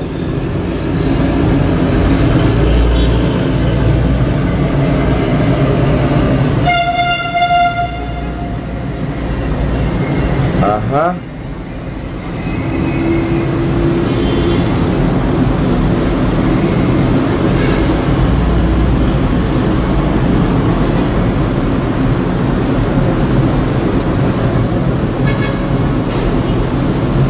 Saan na ba yung tanong na yun? At nahihilo na po ako ng kakahanap. Ano, daming ano, no, hanapin natin, ha? Maganda yung tanong. Ayan. Sir, paano po, pag example may sumampasam na magnanakaw sa pick-up tapos kinuha ang gamit nyo, pwede po ba putukan yun? Ayan. Sayang sana kung makasampa rito ang attorney Descalar. Pero anyway, ipapaliwanag ko na po ito sa inyo. Mga kapatid, yung ninakaw po, kung ano man yung ninakaw sa pick-up mo na yan, no? At wala naman pong threat sa buhay nyo, hindi po yan sapat na dahilan para mamaril tayo ng tao, mga kapatid. Ang sabi ng batas, threat to life and live, no? Ah, buhay po ang pinag-uusapan. Hindi po property o ari-arian, no? Mga kapatid, no? So kung babarilin nyo yan, wala naman threat sa buhay ninyo, hindi sir, ninanakaw yung ano ko eh, yung gamit sa sa pick up ko. Kaya binaril ko sir, siyempre karapatan kong uh, pag-aari ko, pagtanggol ko. But the question is, hindi po nanganib ang buhay ninyo, mga kapatid. Kung anong bagay yung ninakaw man sa inyo po, hindi po yun katumbas ng buhay ng tao, mga kapatid. Hindi po yun katumbas ng buhay ng tao. So yung paggamit po ng baril, hindi po yan option. No? Ulitin ko mga kapatid, baka ikapahamak nyo yan. Ikapahamak nyo yan. Dinakaw yung gamit sa pickup mo. Di sir, di ko naman papatay, binaril ko lang sa pae. Pag baril mo, may tinamaan na bystander. Sa pool sa ulo, patay. No? Yun po, yung mga, yung mga ano no, yung mga pwedeng mangyari. Sir, babarilin ko lang sa paa.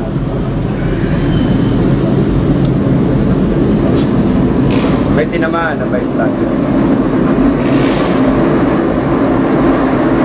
Para po hindi kayo magkamali na talaga ng desisyon, kung magnanakaw rin lang naman yan sa sasakyan nyo, huwag nyo pong barilin mga kapatid. Maganda na lang po sana ma-identify nyo. At hindi ko rin po kayo a-advisean na habulin. No? Baba kayo ng kotse, may hawak kayong baril. Delikado po yan. Pag nadaanan kayo ng mobile at di naman kayo pulis o otoridad, nakasibilyan kayo, may hawak kayong baril. Baka po kayo matutukan ng pulis, no? Hindi po parang katulad ng pelikula ni Philip Salvador yan, tsaka ni Bong Revilla, inahabol nyo yung magnanakaw na may baril. Paano po kayo magpapakilala? Sibilyan po ako, may baril ako magnanakaw. Tingnan nyo pong mabuti. Eh kung pulis po kayo, otoridad kayo, otoridad ako, ganito ako, MBA ako, pulis ako. Pwede pa yon. Ano po kayo? Paano kayo magpapakilala, mga kapatid?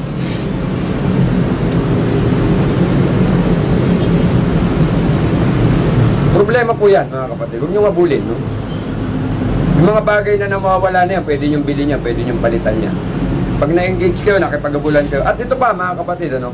Bakit di ko ina-suggest makipaghabulan kayo? May kasabihan po tayo sa mga mandirigma, no? Headhunters never walk alone. Paano kung may kasama po yun? Hinabol nyo, may sa likod. Kung wala mang baril, sinaksak kayo. Tandaan nyo, mahabol kayo, ay hindi nyo nakikita likod nyo. Kaya nga po ang pulis laging may kabady, dalawa po yan. No? Pag may nag engage siya, may kasama yan sa likod, may kabady. Para po, ano man ang mangyari, nakatalikod yung isa, nakikita niya nangyayari sa likod. Body po, dalawang tao. Ah, uh, wag po tayong magpiling na parang uh, Philip Salvador pong Revilla po na nakikipaghabulan sa magnanakaw, mga kapatid. Very risky po, very risky. Kung gamit lang yan, pabayaan na po niya. Tingnan nyo lang po, katulad ng sabi namin, kung ma-identify nyo mukha, suot, hanap na kayo ng pulse o barangay doon, i-describe nyo yung description ng tao. Pero yung kayo po mismo hangapol, delikado po yan mga kapatid, delikado po yan. Delikado po. No? Uh, huwag po tayong magpakabayani mga kapatid. Ano? Kung gamit lang, pabayaan na po ninyo, hindi yan katumbas ng buhay niyo. Ulitin ko, hinabol niyo yan, may kasama yan, nasaksak kayo, nabaril kayo, tapos po kayo. Ganun po yun.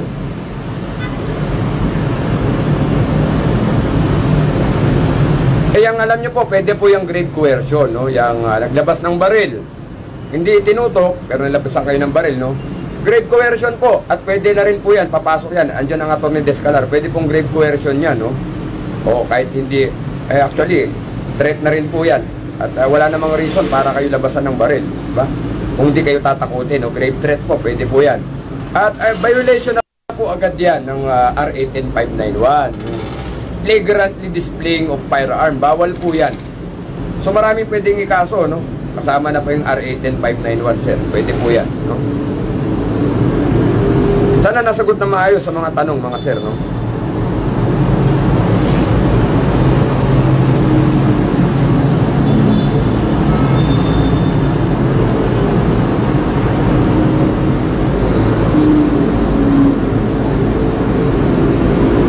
Sir Tot D, ah, pinaliwanag ko na po kanina sa inyo. Huwag po kayong bababa ng kotse. I-ready nyo lang po ang baril nyo na hindi rin nakikita. Diba? Kasi lalapos din, lalapit po yan doon sa driver eh. Lalapit yan, tatapat sa inyo. No? Diba? Bumaba, hindi pa naman nakatutok. Ang sabi mo, hindi maliwanag is kailan ka bubunot ng baril. Maliwanag po sinabi ko kanina, hindi po kayo bubunot, hindi nga kayo bababa ng kotse mga kapatid. Eh. Kasi pag bumaba kayo ng kotse, as if you're showing na you are ready to engage mga kapatid, huwag po kayong bababa. Doon lang po kayo sa, ang kamay nyo, ilagay na lang ninyo sa harapan ng driver ano. Pero ang gawin po ninyo ng inyong manibela, pero ba rin yung i-ready nyo na hindi po niya nakikita. Pwede po yun mga kapatid. Pwede po yun, maniwala kayo sa akin, pwede yan. Iba po kasi gusto lang na nakikita po yung baril para matakot din yung kaharap. Hindi po ganun, hindi po ganun ang buhay mga kapatid. Pag nakita niya may baril kayo, baka lalo kayong barilin kasi niya, iisipin niya, baka bunutan mo siya. Ini-invite natin siya lalong mag-trigger mga kapatid, no? Sir Tot D. Garcia, no? Pwede po kayong mag-ready na hindi po nakikita ang baril, na hindi nyo hawak. Sana naiintindihan nyo ko. Ang dali naman pong damputin ng baril. Nasa gilid po ng hita nyo, driver si takpan nyo ng hita nyo, pero ang baril nyo loaded. Nakatapat kayo sa kanya, kamay nyo nasa manibela. Bakit yung pinapakitang ganon? Kasi ibig sabihin, hindi kayo mag engage ang may kamay nyo nasa manibela, kapatid. Ang kamay nyo nasa manibela, kapatid. Pero ang baril nyo nasa ilalim ng hita, na tinatakpan ng hita nyo para hindi niya alaki kita na may baril kayo. As much as possible, hindi niya dapat makita. Just in case, iangat niya ang baril nyo, napakadali kong damputin ng baril. Napakabilis po, napakabilis. Lalo kung loaded na po kayo. Pero pag ang kamay nyo nasa manibela at nakita nyo wala kayong hawak, baka ma-de-escalate mo pa, Sir Tot G. Garcia, no? Sana po. Yun po ang ibig, ah, madali pong unawain ito, kapatid, no? Hinahanapan nyo po pa kasi po ako ng ano eh, ng ah, sitwasyon na magkakamali ako ng isasagot, kapatid, no? Yun po ang ibig ko sabihin, kapatid, no? Kailan bubunot? Hindi po kayo bababa, hindi kayo bubunot. Nakita nyo ang nangyari sa Gonzales po, no? Yung, ay, yung nangyari, yung, min, um, yung Gonzales po, dyan sa ng case po na binunutan ang bisikleta. Pagbaba nyo po may hawak na baril, no, talo na po kayo kaagad. Talo na po kayo kaagad. Opo. Huwag kayong bababa ng kotse, mga kapatid. Huwag kayong bababa ng kotse, no? Opo. Pwede kayong mag-ready na hindi nyo hawak ang baril. Itago nyo na hindi nakikita ng mata, pero madaling bandamputin po yan. Ito ang kamay nyo, mga kapatid. Ito kamay nyo. Pagbaba nyo sa hita nyo, ito na ang baril. Hawak nyo na. You train yourself, mga kapatid, no? You train yourself. Pero una nyo i-train ang sarili nyo, maging kalmado kayo sa sitwasyon. Kasi pag nataranta po kayo, kung ano-ano napapasok sa isip nyo, kaya po tayo nagnyunyuro, kapatid, no? Kaya tayo nagnyunyuro, no?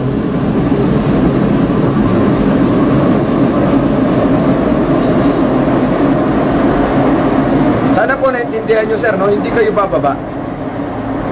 You are calm but ready. Sabi ko nga kanina, naka-ready po ang baril.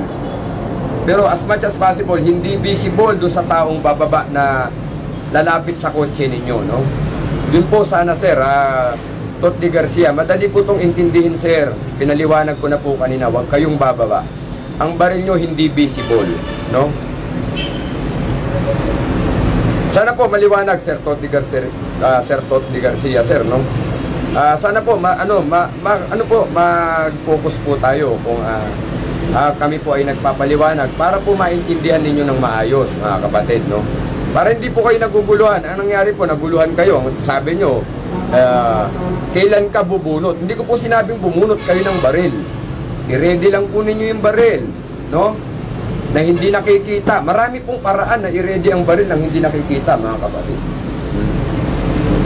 ako nga po, pag mag-isa ako sa kotse, ang ginagawa ko nga po before, no? Until now, alam ng admin AJ yan, may unan doon sa kotse. Sa, pag wala mag-isa ako sa kotse, tinatakpan ko lang po yan ng unan. Or minsan, ng, ano, ng um, good morning tawag yung baril. So, walang baril po nakikita kasi may takip. Just in case may engage, tatanggalin ko lang yung takip. Ayan po, hawak ko ng baril, no? Maraming pamamaraan, mga kapatid. Opo, huwag po tayo show off sa baril, no? Huwag po tayo show off, no?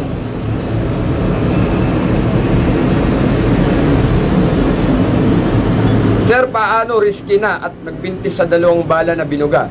Pwede bang mag-reload ulit at bumuga ulit? Alam niyo po, pag self-defense, alam niyo ganito po ang sitwasyon, ano? Is, ano po lang yan? Segundo. Magmimintis. Ano pong ibig sabihin? Dalawang bala po ang magmimintis. O nagmintis yung unang bala. Kaya nga po dito sa trade, ituturo namin dito yung immediate action drill. Ano po yon? Pag nag-jam ng baril, ano ang gagawin ninyo?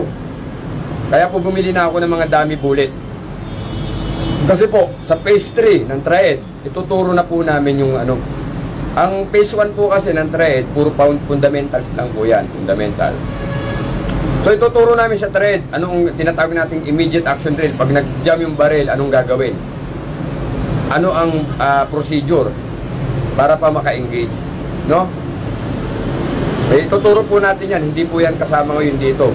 Pero yung magmimintis po, ibang usapan yan. Alam nyo, kung nagmintis kayo, di pumutok ang baril, baka oras na ninyo, no?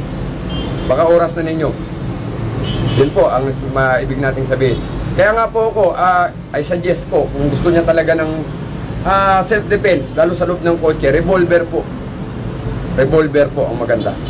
Revolver, no? Mm. Kasi delikado po yung pwesto natin sa kotse kasi kailangan po pag bumunot tayo sa kotse kasi wala po tayong tataguan. Hindi katulad po kung nakapistol tayo, nasa labas tayo sa sakyan, may cover area. Pag nagloko po, magtatago tayo eh. Ang revolver po hindi.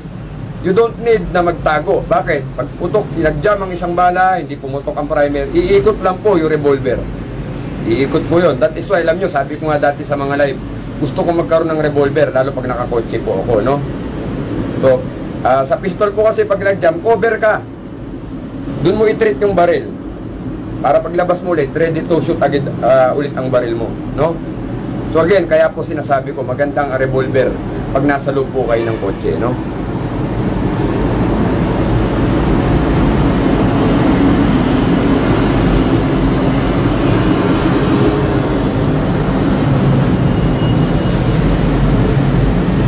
Pag na headshot mo sir, set defense pa din ba?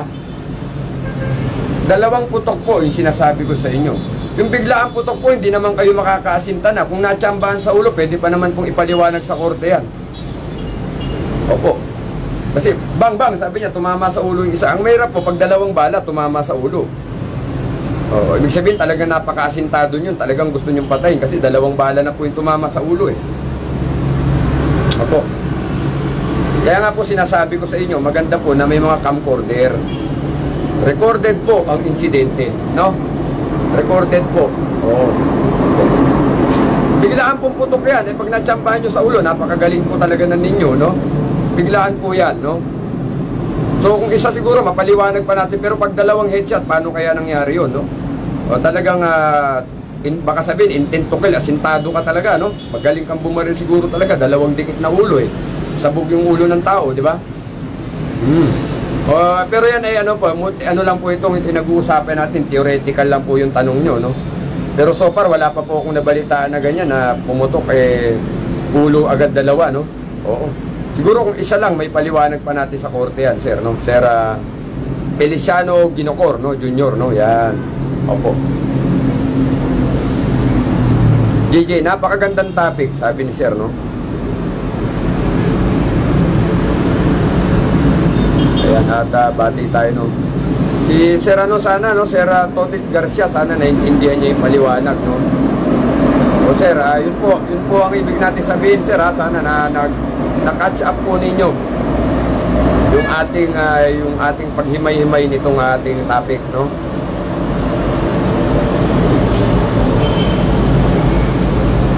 Salamat, thank you for watching Attorney Descalar, no? At uh, nanood ka pala ngayong gabi, ha? Ngayon ko lang nakitang nanood ka. At malamang hindi ka busy ngayon, Attorney, no?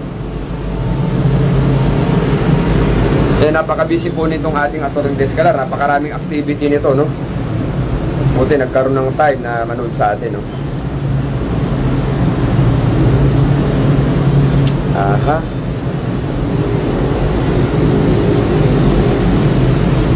Ay, shoutout din pala sa ating attorney Patrio Senyeres kanina. Hindi ko nabanggit yung isa pa nating abogado sa Gun Pilipinas. Ano?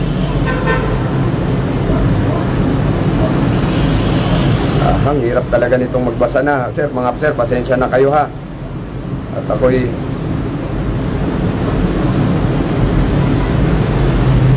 Sir, paano kung nasa loob ng bangko at may holdupper at tinumba na isang guard at nakapwesto ako ng maganda?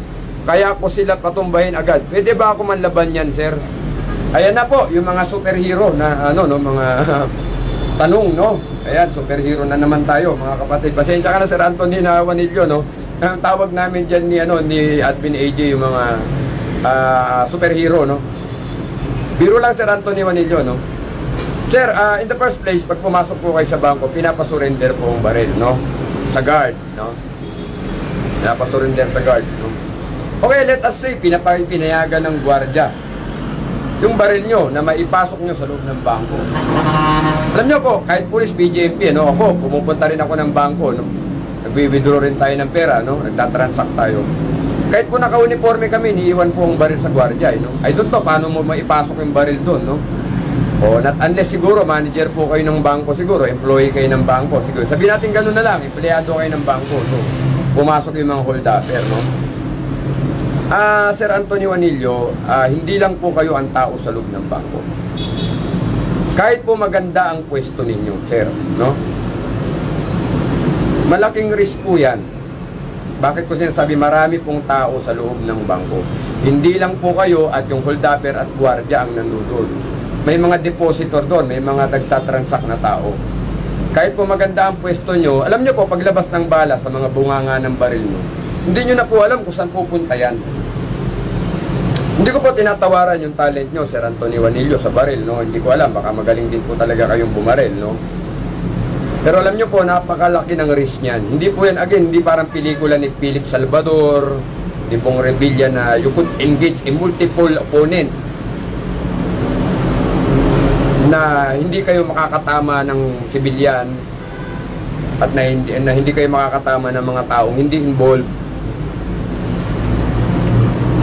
Mahirap po yan.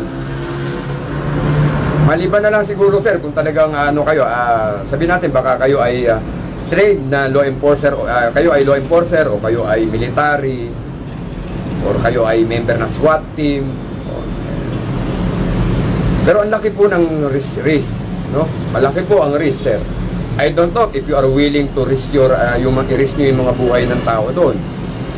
Kung willing po kayo i-risk yung buhay nyo, saludo po kami sa inyo at uh, uh, kara, ano po yan, uh, malaking ano po yan, uh, kahanga-hanga po yan yung kainyong isakripisyo nyo ang buhay para ang buhay nyo para sa kapwa nyo tao.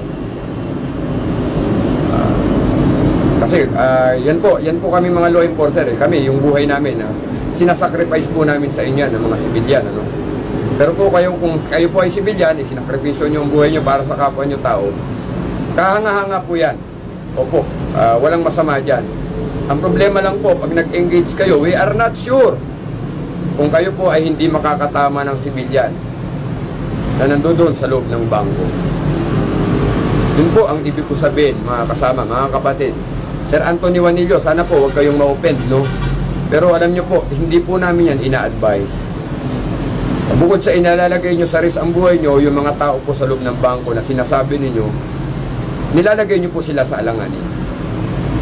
Uh, don't play a hero, mga kapatid. Don't play a hero. Alam nyo, pera lang yon o bagay lang yon Ibigay na natin, mga kapatid. Ibigay natin, no? Sana Sir Anthony Juanillo, maliwanag po yung paliwanag natin, ano? Kahit po maganda pwesto nyo, maganda yung baril nyo, uh, tandaan nyo po, nag-iisa lang kayo. Wala po kayong kasama na i-engage po itong mga bank robbers na to, itong mga holdupper na to. Malaki po ang chance. Ganito po yan, oh, hindi kayo nakatama, pero yung holdupper, nag-return fire sa inyo, nakatama naman ng civilian, sir, ma'am. Yun po yung problema, mga kapatid. Yun po yung problema. Kami po sa law enforcement, alam nyo, kami ho, kahit trade na kami, pero yun na nga po, assessment and evaluation ng situation. Pag hindi kaya, wag. Huwag po mag-overconfidence kasi po, tandaan nyo po, pagputok ng baril, paglabas ng bala, hindi na po natin kontrolado ang bala. To whom, to whom it may, may concern, sabi nga nila, to whom it may concern. May madadamay po. May madadamay, mga kapatid, no? Ang dami na pong threads, nahihirapan na ako magbasa, no? Siguro susunod, magsasalamin na po tayo para mabasa ko, no? Yan, Sir Pep 1, paulit-ulit po, ah, yung bahay po ay hindi extension ng, ay ang kotse ay hindi extension po yan ng uh, bahay, no? Yung, yung kotse. Matagal na po nating ipinapaliwanag, no? Ah, alam nyo, sa kadahilan ng ang bahay po ay stationary yan, no? Wala pa po ako nakitang bahay na umaandar po eh. Yung, yung bahay mo sa Paranaque, pupunta yan ng Tagig, no? Oo ginagawa. Ang bahay po ay stationary, ang residence ay stationary, no? Yan po. Stationary yan, hindi gumagalaw. Whereas ang kotse, mobile yan. A car is moving from one place to another. Transportation po ang kotse, hindi po siya residence. Maliban na lang po kung nilagay nyo yung baril nyo sa garahe ng property nyo, address nyo, nilagay nyo yung baril dyan, ayan po, hindi kayo mahuhuli niyan. Pero pag inilabas nyo po yung bar kotse nyo, yung baril nyo nandoon na may PTC, nilabas nyo po sa gate ng bahay nyo, umandar na kayo sa kalsada, eh, bawal na po yan, no? Uh, di walang batas po na nagsasabi na extension po ng uh, bahay, ng kotse, ay ng bahay, ang kotse, no? Wala pong ganung batas. Maliwanag po yan sa 10591. Uh, kailangan natin ng permit to carry or permit to transport pag ilalabas natin yung ating mga baril mula sa ating place of residence. No? Yun po ang uh, paliwanag dyan, Sir Pep 1. No? Huwag po kayo maniwala dyan. No? Opo. Ayan po yung mga isa sa mga mahihiwagang kwento ng mga barbero po, no? tsaka ng mga kutsero, sir, no? Ah, wag po, maliligaw kayo dyan, sir, no?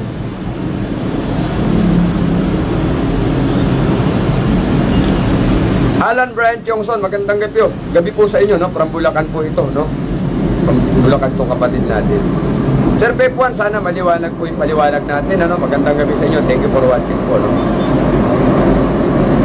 Sir, pagbalak ang bugbugin ng sampu ng mga lalaki, pwede bang bumunot ka para hindi matu matuloy ang balak nila?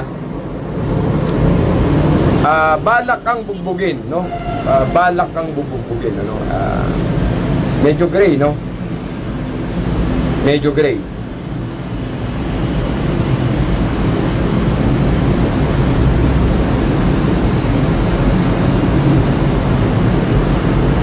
Ayan, nag, nag-PM ang attorney ano, no? Ayan na nga, kanina pinapaliwanag ko yung dalawang bala sa ulo, excessive po yun, no? Ayan, tama, yun din po yung opinion ng attorney Descalar, nag-PM sa atin, no? Sabi niya, two bullets in the head, quote and quote, ha, attorney Descalar, na two bullets in the head, reasonable necessity of the means employed to prevent or repair it, unlawful aggression.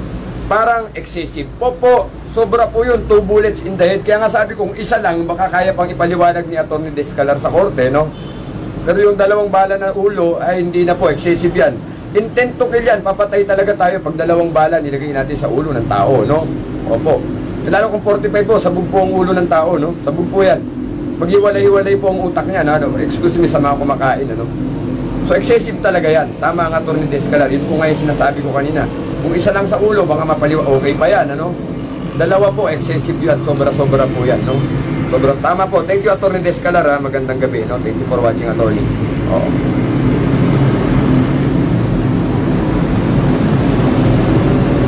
Very interesting topic daw, sabi ng ating kapatid. Ano? Opo, ayan na nga po, binubuksan ko na ulit itong mga topic natin na ano, no? Lalo yung mga paulit-ulit na tanong, we need to answer this, mga kapatid. Ayaw ko po, kay, ayaw namin kayong maligaw dito sa Gun Pilipinas, no? Ayaw namin. Uh, hanggat maaari po, with all the guidance po, uh, magtuturo at magtuturo po kami para sa inyo, mga kapatid, no? Lokal ng uh, Kawakawal, keep safe bro ah, kapatid na Eric, kapatid pala to sa iglesia ni Cristo, si kapatid na Eric, ano. Good evening sir, paulit, paulit po, hey, bagong dating. Nako, i-review nyo na lang po tong live, no? I-review na lang nyo yung live sir, no? Mat, maubos po yung boses natin sir, no? At uh, kailangan po po ng uh, boses, maubusan tayo ng boses, no? Salamat daw sa information, sabi ni uh, kapatid na Alan Brian Kyongson, no?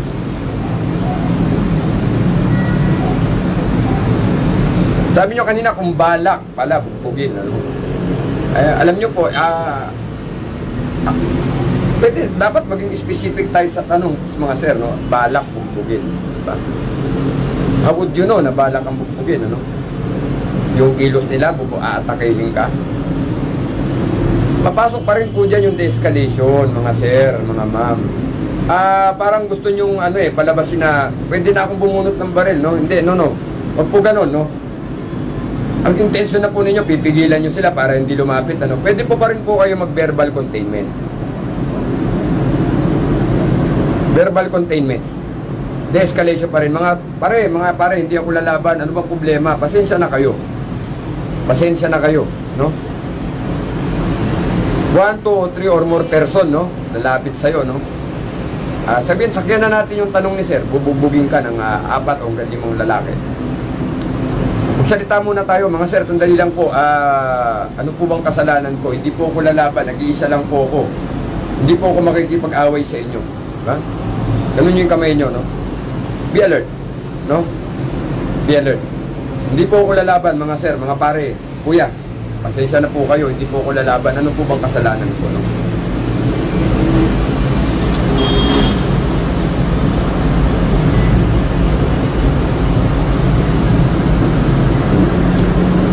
Bakit ko sinasabi? Alam niyo po, pag kayo naman po ay nagpakita ng uh, hindi kayo mag walang aggression sa inyo, pwede pong mapigilan, no? Pwede mapigilan. Eh makulit pa rin, lumapit. Verbal warning, nyo munang bunutin ang baril. Sabihin nyo, may baril ako rito, pare, huwag nyo ko lapitan, baka mapilitan akong putukan kayo. Kasi tignan nyo, mga kapatid, ha? Bakit sinasabi ko huwag nyo bunutin kaagad? Alam niyo yung mga CCTV walang sound yan. Lumalapit pa lang naman sa inyo, hindi pa kayo sinasaktan, ano? Nilabas nyo ba rin nyo? Babaliktad po ang kwento niyan. Babaliktad po ang kwento niyan. Kayo na po ang kontrabida dyan kasi nanutok na kayo ng baril. Verbal warning, may baril ako rito mga kasama ha, baka may baril din kayo, may kutsilyo kayo dyan. Huwag nyo ako sugurin, baka mapilitan akong bunutin tong baril ko. Huwag niyo pong itutok, huwag niyo bunutin. Kung nakabag kayo, may baril ako dito, pakita niyo, may baril ako rito, huwag kayo lumapit. Ang dami niyo, baka mapilitan akong bumunot ng baril mga kasama. Huwag niyo nang ituloy ang balak niyo. Pero huwag niyo pong bunutin, itutok. Babaliktad po kwento niyan, lalabas niyan, kayo na po ang ano, unlawful aggressor.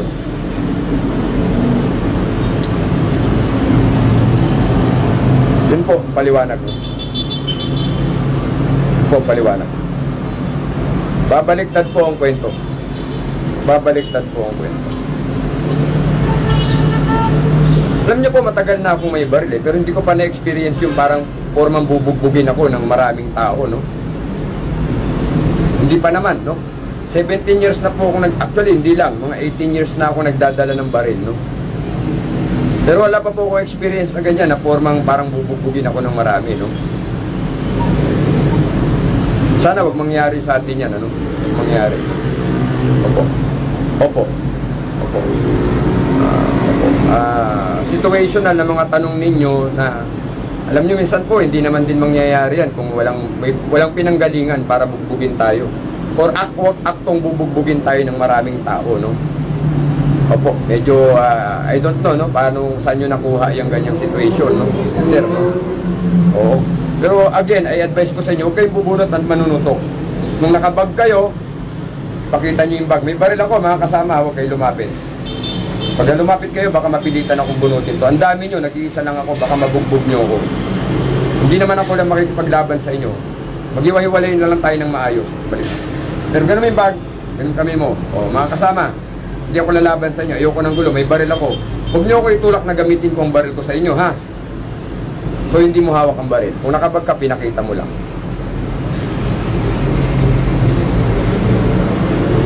Sana maliwanag, mga kapatid, no? Pwedeng bumaliktad ang kwento.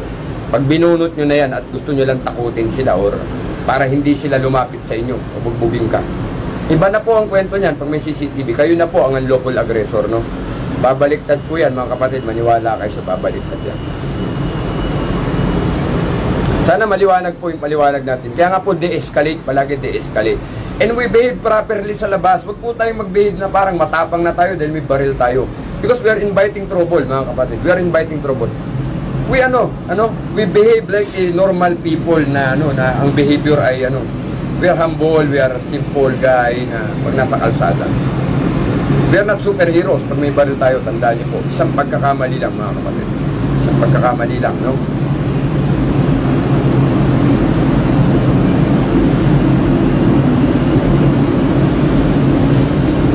Same scenario, no? Sabi mo, ah, naagaw mo yung baril. Well, ano po justifiable yan? Kasi yung baril niya, naagaw mo, pambuno kayo, naputok mo sa kanya, hindi mo nga baril yun, baril niya yun eh. Wala kang baril eh.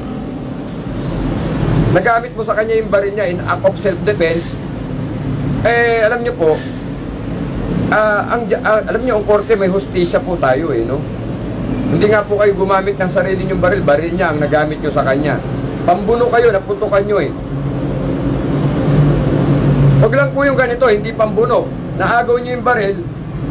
Ito, ulitin ko po ha, para maliwanag, baka maligaw kayo. Naagaw nyo yung baril, ipinutok nyo sa kanya, nakalayo na yung tao, iba pumusapan nyo. Kasi pag naagaw nyo yung baril, wala nang threat. Yung threat po, wala na nung naagaw nyo baril. Pero pag naagaw nyo baril, nakadistansya kayo, binaril nyo, ay hindi na po self-defense yun, mga kapatid. Kasi nakuha nyo na po yung baril. So kung nakuha nyo yung baril, tutukan nyo lang. Huwag kang gagalaw, dapa. Yan na po. Para na kayong pulis niyan. Magkukuman kayo dapa. O dapa, padapain mo. Pag hindi sumunod, dapa, padapain mo. Pag aagawin niyo ang baril nyo, barilin nyo sa hita. Matutumba. Pagtumba, daganan na ninyo. Tawag kayo 911. O kung may pulis malapit pero maganda, 911 po, tawag kayo. Ako po si ganito, Juan de la Cruz, nakabaril po ako ng tao rito, tinutukan po ako, naagaw ko ang baril. Early reporting po yun, kayo na unang nag-report. Hmm. Pero tandaan niyo po, pag naagaw niyo na yung baril, wala na pong threat yan. Nakalayo kayo, naagaw niyo baril, huwag niyo pong barilin. Kung susugod po sa tingin niyo, mas malaki ang katawan niyo, barilin niyo sa hita. Non-fatal area, hindi po mamamatay, no? Opo. Tutumba ulit, gawin yung paraan, makontrol siya, hingi kayo ng tulong sa civilian para hindi naman laban, tawag kayo sa 911, mga kapatid. Mananalo po kayo dyan kasi ibig sabihin, hindi nyo naman pinatay. Talagang self, purely self-defense ang ginawa ninyo. Yun naman po, babarilin nyo kung aagawin pa ulit yung baril. You want to, is trying to regain possession, no? Lalo kung malaking tao po, reasonable naman yun, naputukan nyo sa paa para mapasipay nyo, hindi na kayo maagawan, no? Kasi pag nagpambuno pa ho kayo ulit, baka mamaya maagaw, kayo naputukan talaga, no? You do not give them the second chance na ma-regain yung possession ng baril. Papatayin po kayo nun. Kasi baril niya yun eh. Ha?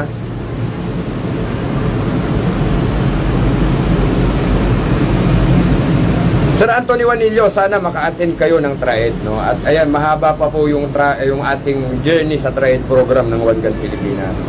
Sana manood lang po kayo palagi ng live at magtanong, okay lang po yan, sir, at sana ano po. Nakakatulong po sana ang programa natin ano sa inyo, mga kapatid ko. No? So ulitin ko po, pag naagaw nyo yung baril ng tao na hindi nyo baril, at uh, hindi naman nyo kailangan putukan kasi naagaw nyo na, huwag nyo putukan. Pero kung pambuno po, nagpapambuno kayo, talagang struggle, hindi nyo maagaw, naputok nyo, nabaril nyo tao, madja-justify po yan. Lalo kung mas malaki sa inyo yung tao, mas malakas. Katulad ko, payat ako. Uh, ako ay 56 kilos lang. Kung kaagawan ko eh, 80 kilos, 75 kilos, ah, 70 kilos, 65 kilos. Mas malakas po yun. Pag nadaganan niya ako, mahirap po magpambulo. Lalo kung nagwe-weights. So, ma- madedetermine naman sa korte yan po yan na mas malakas po yung ano, no? Mas malakas po yung inyong kapambuno. Hindi mo na agaw, naputukan mo na po. Huwag nyo rin tatarin, no? Baka mamaya, hindi, sir, sabi ni Sir Corix, pwede to eh. Bang, bang, bang, bang, bang. O, eh, tinatad naman ninyo ng bala. Baka naubos nyo pa yung isang magazine, ano? Hindi na po ganon, no? Sabi ko sa inyo, maximum of 2. Mapapaliwanag natin. Nag 3, 4, 5, 6, 7 yan. Ewan ko na po kung paano. O, pasasakitin natin yung ulo ng mga lawyer natin, ano? Eh, malamang sa malamang po, hindi babagsak ng self-defense yan. Tinatad po ninyo eh, no? Sana maliwanag mga kapatid, ano?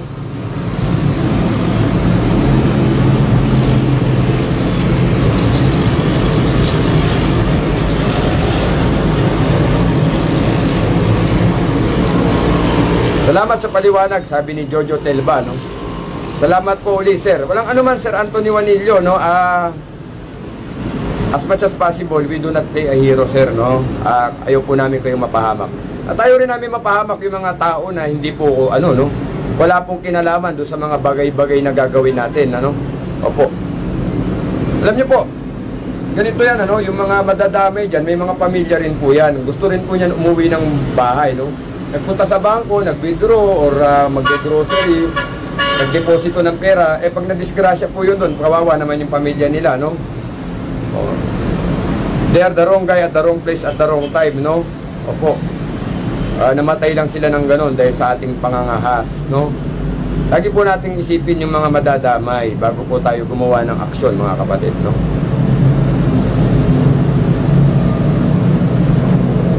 Kung halimbawa po nag-verbal warning ako, tapos pinakita ko yung baril, tapos inagaw, Sir, common sense, you keep a safe distance, lumayo po kayo. Alam naman po ninyong aabot sa hindi aabot, sir, no? Sir uh, Benji Greenberg, no? Uh, let us face, ano, maging reality, reality, sir, no? Pinakita nyo yung baril, pero you, you, maintain a safe distance. Maintain a safe distance po na hindi kayo maaabot. Nagdistansya po kayo, distansya kayo, sir, no? Ah, hindi po ano, ah, sometimes we have to use common sense, sir. no? Pinakita mo yung bag sa baril, distansya po kayo, baka nga damputin po yan. So, yung maintain a safe distance po, na hindi kayo marireach, nung hindi marireach, maabot yung baril ninyo, sir, no? Sana maliwanag po, no, sir?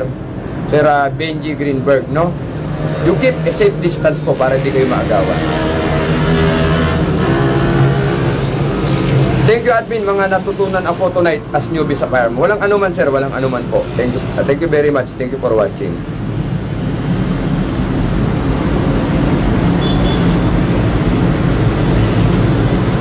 Ah, pumasok sa butika, nakatutok. Ay, pag nagkaroon po kayo ng chance, medyo nalingat, barilin nyo. Nakatutok na po. Sabi ko nga po kanina, nakatutok po. Iba po yung nakatutok. Risky na po yan. 50-50 na kayo niyan. Pwede nyo na pong i-engage yan. Nakatutok na po eh.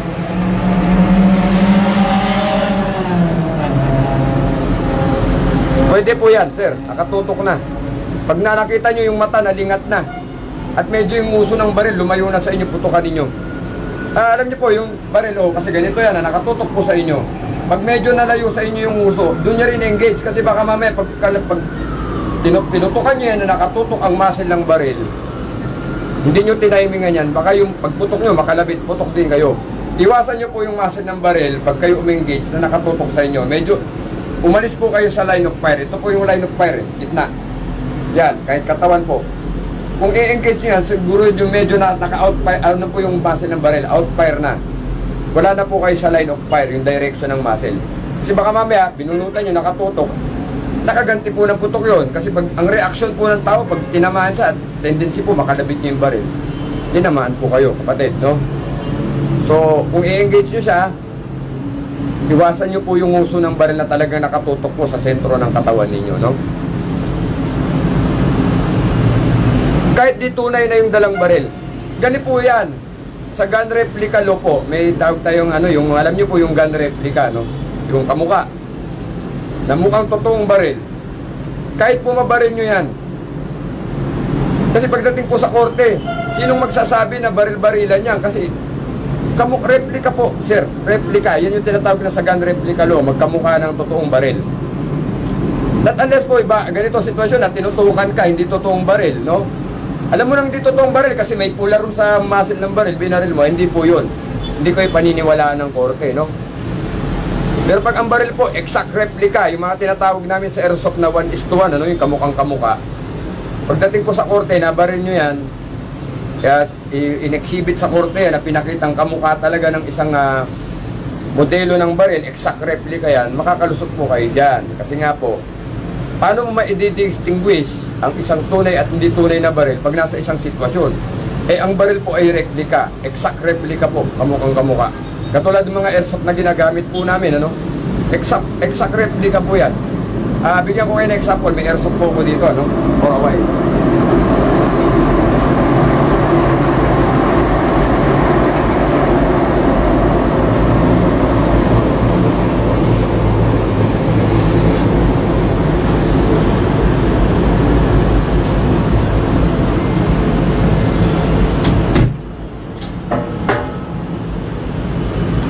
aking MP5 no, na airsoft no. Po ay MP5 no. Ito po ay in-order pa natin sa abroad no. Yan. Paano nyo po malalaman to na hindi totoo to? O airsoft to? Tingnan nyo po ang dulo no.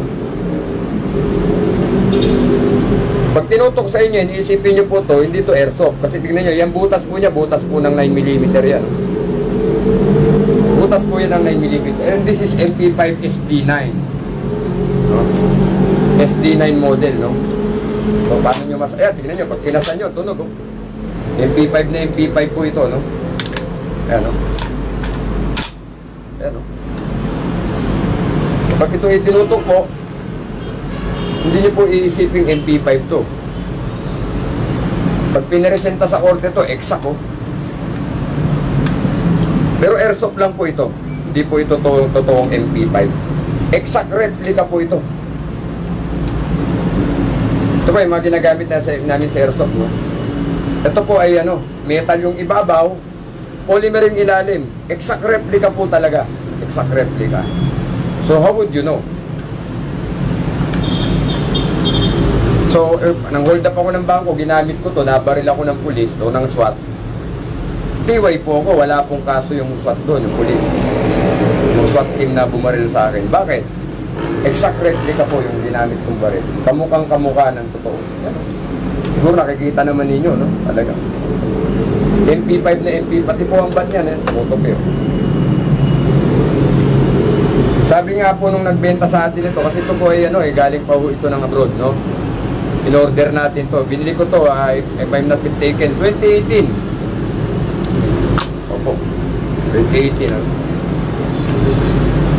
Paano natin malalaman, no? So, kamukhang kamukha, exact replica. So, shout out kay, ano, no?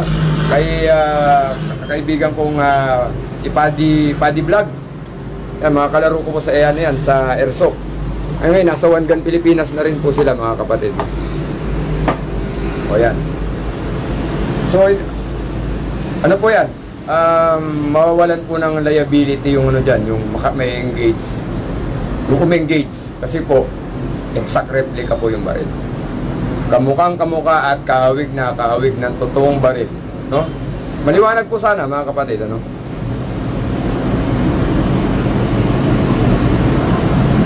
Off po, oh, kasama, pasok po yan. Pag ginamit mo sa baril, ang, ang isang exact replica na baril, no? Pasok po yan, pasok po yan ginamit mo sa krimen. Andis Diang, uh, magandang gabi sir. Uh, yan, i-replay na lang ninyo sir yung mga topic natin. Ano? Uh, maganda itong naging discussion ngayong gabi. No? At uh, napalawig pa natin yung mga pag-uusap. No? Napahaba natin, mas nakapag-explain tayo ng maganda. No? Anyway, good evening Admin Lapore, uh, Alban Lapore. Magandang gabi sir. Thank you for watching. Ano?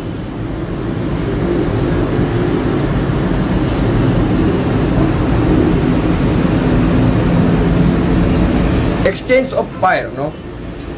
Ah, ibang usapan po yon. Ibang usapan po yon. Exchange, palitan po ng putok yun eh. Ah, alam nyo po, pwede naman ninyong idepensa sa korte ng pumuputok kayo. Hindi naman ninyo nakikita kasi nagko-cover, pumuputok kayo. Pwede nyo po pong gawa ng ano yon ng katwiran. Kasi ano po yun eh, exchange of fire na po yun. Hindi naman po yun yung barilan ng nangharapan. Palitan po ng putok yun. Tinamaan nyo, hindi pa pala napuruan, tag tago kayo. Pumutok kayo, akala nyo hindi na rin tinamaan. Palitan po ng putok yan. Iba pong usapan yan, sir. Ibang usapan yung palitan. At kayo po si Pilyan, mala- ano po yan? Ah, sa law enforcer, maniniwala ako, sir, no? Sir, uh, BEP1, no? Kung, kung baka nasa law enforcement po kayo or nasa military kayo, no? Pero sa civilian po, ah, yung exchange of fire na yan, alam niyo po, ang perpetrator, pag uh, nakapatok na yan, tatakbo na po yan madalas, hindi na po makikipag-exchange of fire yan, sir. Not unless leya kayo, no? Nag-raid kayo or may operation, nakipag yan, pwede po yan. Eh kung kayo po ay nasa law enforcer, PEP1, no? no? Kung kayo ay law enforcer or military kayo, or you're member of any law enforcement agency dito sa bansa natin. Opo. Pero pag civilian po, I don't think po na may exchange of fire pa yan ng matagalan. Usually, ang mga perpetrator, lalayo na po, tatakbo na po yan. Pumuputok na po yung target nilang tao. Hindi na po yan kasi hindi na po nila hintay na may dumating na pulis po. Baka mahuli pa sila, mga kapatid. Ganyan po ang gawain ng mga kriminal. Pag putok niyan, aalis na po yan pag ginagantihan na sila ng putok ng target nila, no? So, yun po yun, sir, ha? Sana maliwanag, sir, no?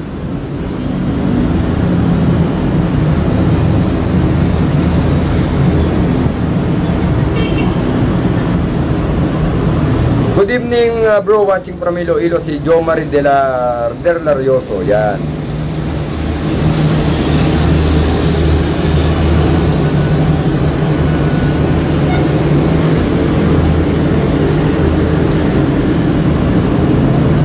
Sir, ba ako makain ako sa tapos ligon, may nag-declare ng hold up sa cashier, natutok ang baril. Pwede ko ba putukan kahit wala sa akin ang direct threat? Sir, ano yan? Defense of stranger. Ayan na naman, Sir, da Alvin Alfa na pinaliwanag naman. Pwede po yan. Defense of stranger yan, pinaliwanag na namin yan before. Kasi nga, may uri, may self-defense, may defense of relative, kung kadugo mo, or uh, uh, uh, relative by law kasi po, uh, ang ganito po, ang self-defense, sarili nyo. Defense of relative, kamag-anak nyo, it's either by blood or po, uh, by affinity or consanguinity. Pag affinity, kamag-anak mo sa batas, binan mo, bayaw mo, yan. Uh, pag uh, consanguinity, relative by consanguinity by blood, tatay mo, nanay mo, kapatid mo, anak mo. So that is consanguinity. So depends of a relative. Depends of stranger, walang relasyon at all. Kaibigan mo lang o dyan sa tao sa kalsada, walang relasyon by affinity or, affinity or consanguinity, wala pong ganon. It's totally stranger, no? Walang relasyon sa dugo at sa batas, wala. Tatlong uri. So yung sinasabi mo, nasa tapsilugan ka, hinold up ng hold upper, tinutukan yung kahera, pwede mong barilin? Yes. Depends of stranger, no? Uulitin ko po ulit, tapsilugan yan, maraming tao yan, sir, no? Daming tao. At how sure are you na pag binaril mo yung hold upper, hindi lumusot doon sa may kahera. Lalo kung 9mm yan, no?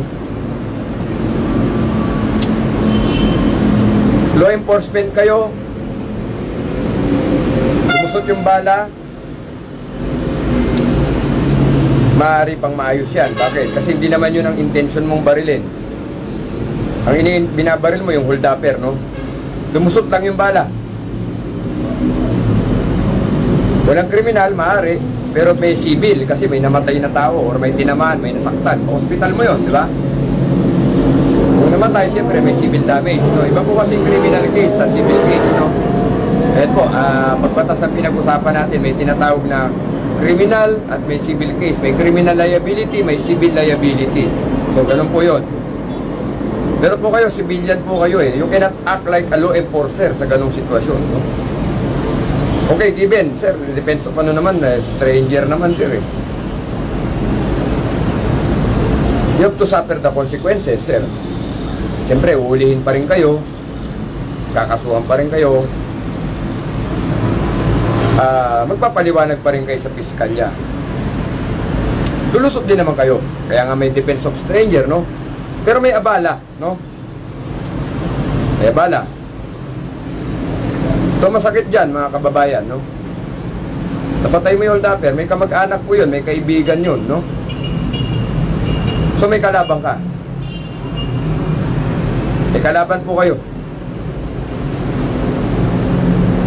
Pagdating po kasi sa piskal yan, siyempre atin yung asawa niyan, kapatid niyan, o di namukhaan na po kayo. Nanalo ka man sa piskalya, sa piskal level pa lang, sa prosecutor level, nanalo na kayo, hindi na kayo nakulong, labas na kayo.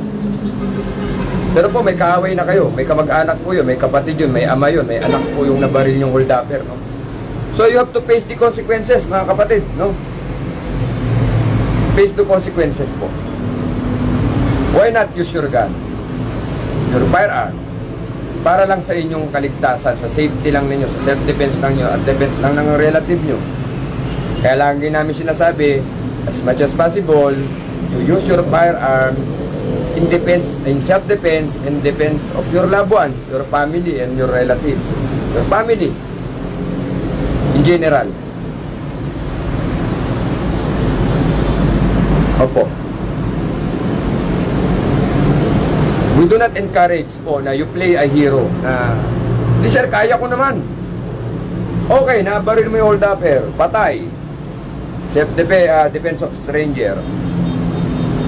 Kaya yun, may, may, may anak, may kamag-anak, may kapatid, may kaibigan, may kasama sa sindikato na hold upper, ah, you prepare yourself, baka bumawi, bawian ka. Ang mahirap dyan, kung lagi mo pang kasama pamilya mo, madadamay sila. So kung gagawin mo yan, talagang gusto mo maging hero, binaril mo, uh, kung kayo taga Maynila, eh lipat na kayo somewhere na malayo, no?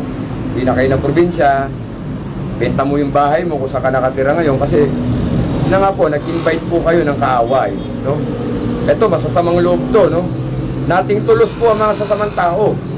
Pabalik-balik nga lang po ng kulungan ng mga yan, karamihan, no? Pero kayo po, tao kayong regular na tao, professional kayo, negosyante kayo, uh, normal na buhay kayo, no?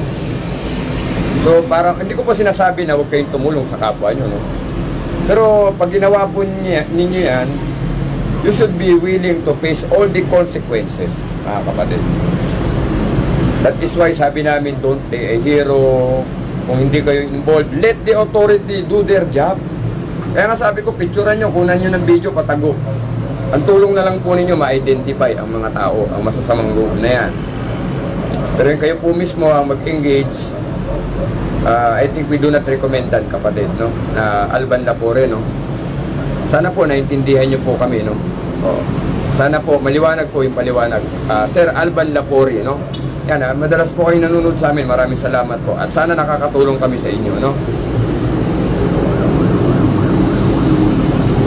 Tama po, Sir uh, Benji. Tawag na lang kayo ng pulis. Pero ang pinakatulong dyan, sana mapicturean nyo, makunan nyo ng video para ma-identify Sir Benji Greenberg, no?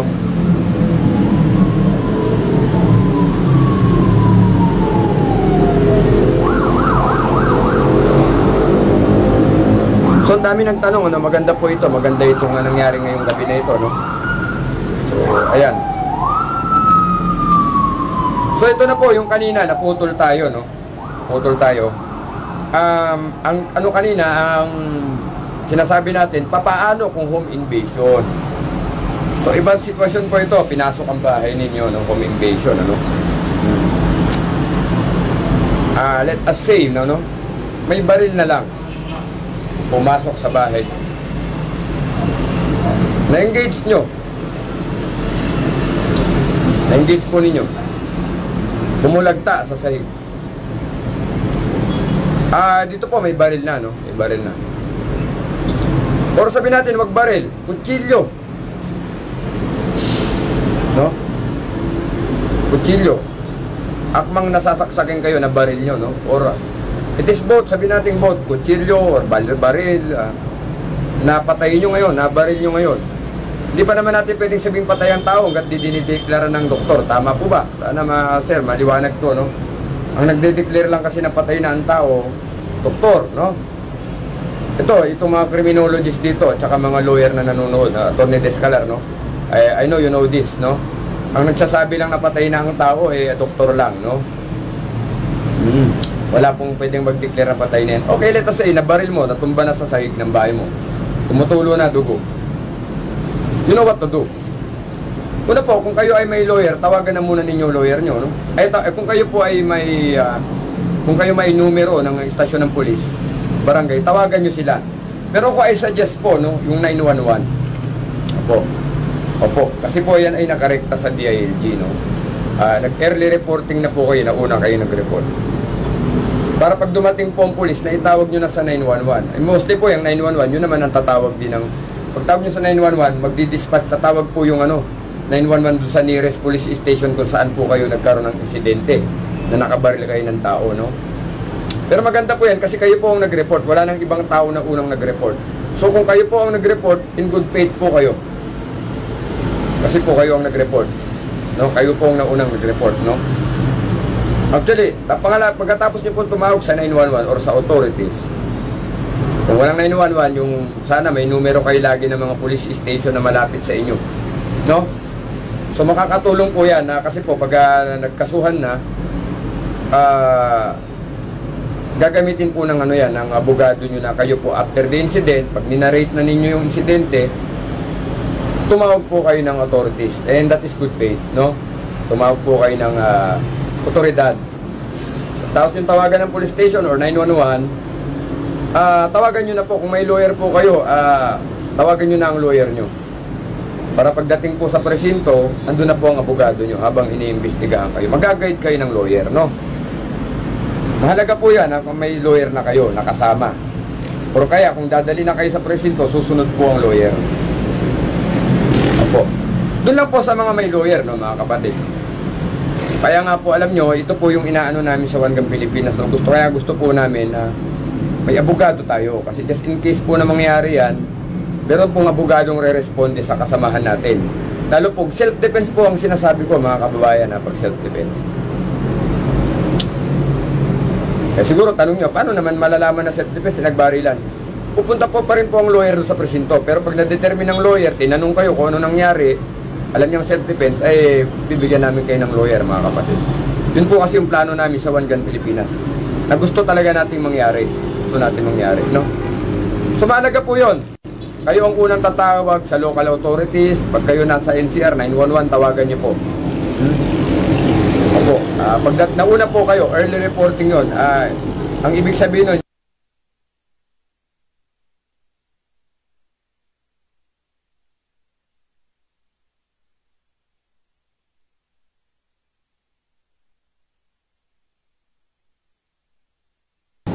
Ina- Kaya nga po sabi namin, galingan nyo po yung shot placement para dalawang bala lang po. Dalawang bala lang. Para wala na pong mahabang paliwanagan. Self-defense talaga. Pag tinignan pa lang ng investigador yung crime scene, yung pinangyarihan ng insidente, self-defense po talaga. So sana po, naiintindihan nyo yung sinasabi namin. Ano? So yun po ang pinakamagandang gagawin ninyo. Kayo po ang maunang mag-report. Huwag nyo na pong hintayin yung po yung barangay ang tumawag sa police station o yung kapitbahay nyo pong nakarinig ng puto. Nauna pa yung marites, di ba? Na tumawag sa police. Mauna na po kayo, kayo mismo na involved, no? Para magamit yung pong depensa sa korte na kayo po ay uh, in good faith, mga kapatid, no? Ika nga ni Spider-Man, with great power comes with great responsibility. Totoo po yun, Sir uh, Luer and Andersen. Tama po yan, tama po yan.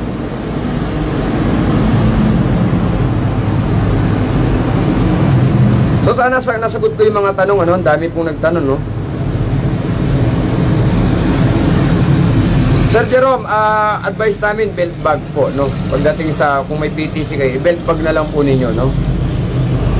Belt bag na lang po ninyo or sling bag para po wala na pong mahabang paliwanagan, sir no. Para po masitaman kayo ah your ano you are uh, will not be ano hassle, hindi kayo ma-hassle o ma, ano pa ng maraming tanungan kasi yun po yung pinakaligal na pamamaraan. Ano?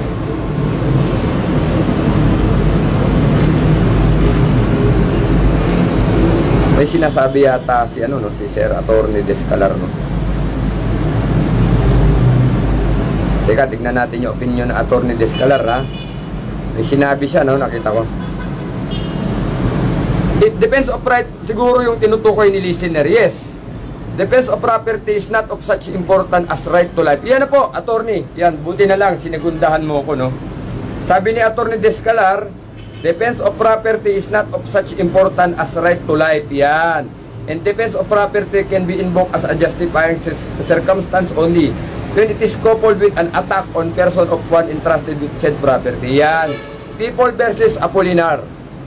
Opo, ito po, salamat Attorney Descalar, tinulog ginamitan mo pa ako ng ano no ng uh, uh, president case, uh, the court decided by the Supreme Court no, People versus Apolinar, no. Uh, justifying circumstances lang 'yun kung kayo po ay inatake, no. Defense of uh, property kung inatake na po kayo, kinukuha yung bag nyo, sasaksakin kayo, babariling kayo, that's the time. Or aagawin yung motor nyo, bubunot, tututukan na kayo ng baril na baril nyo, yan po yun.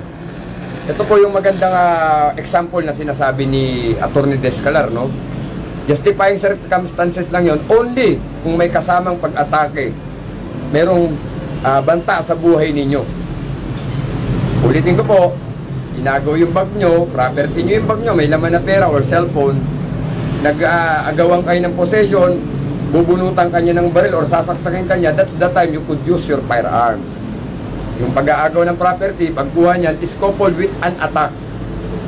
So kung kayo ay sasaksakin na or babarilin na, you can engage it already. Pero kung property lang, sabi nga ng Attorney Descalar, sabi ko rin kanina, na uh, mas mahal po ang halaga ng buhay kaysa sa anumang ari-arian na meron ang mundo na material na bagay. So sabi ni Attorney Descalar, Uh, defense of property is not such importance as right to life. And defense of property can be invoked as a justifying circumstance only when it is coupled with an attack on the person of one entrusted, entrusted with the said property. People versus Apolinar. Yan. Ay, yan po ay decided cases po ng uh, Supreme Court. Thank you, Attorney Descalar. Salamat po sa pag-alalay. Ano? Ayan na. Ayan na po ang Attorney Descalar. Ano? Salamat po. No?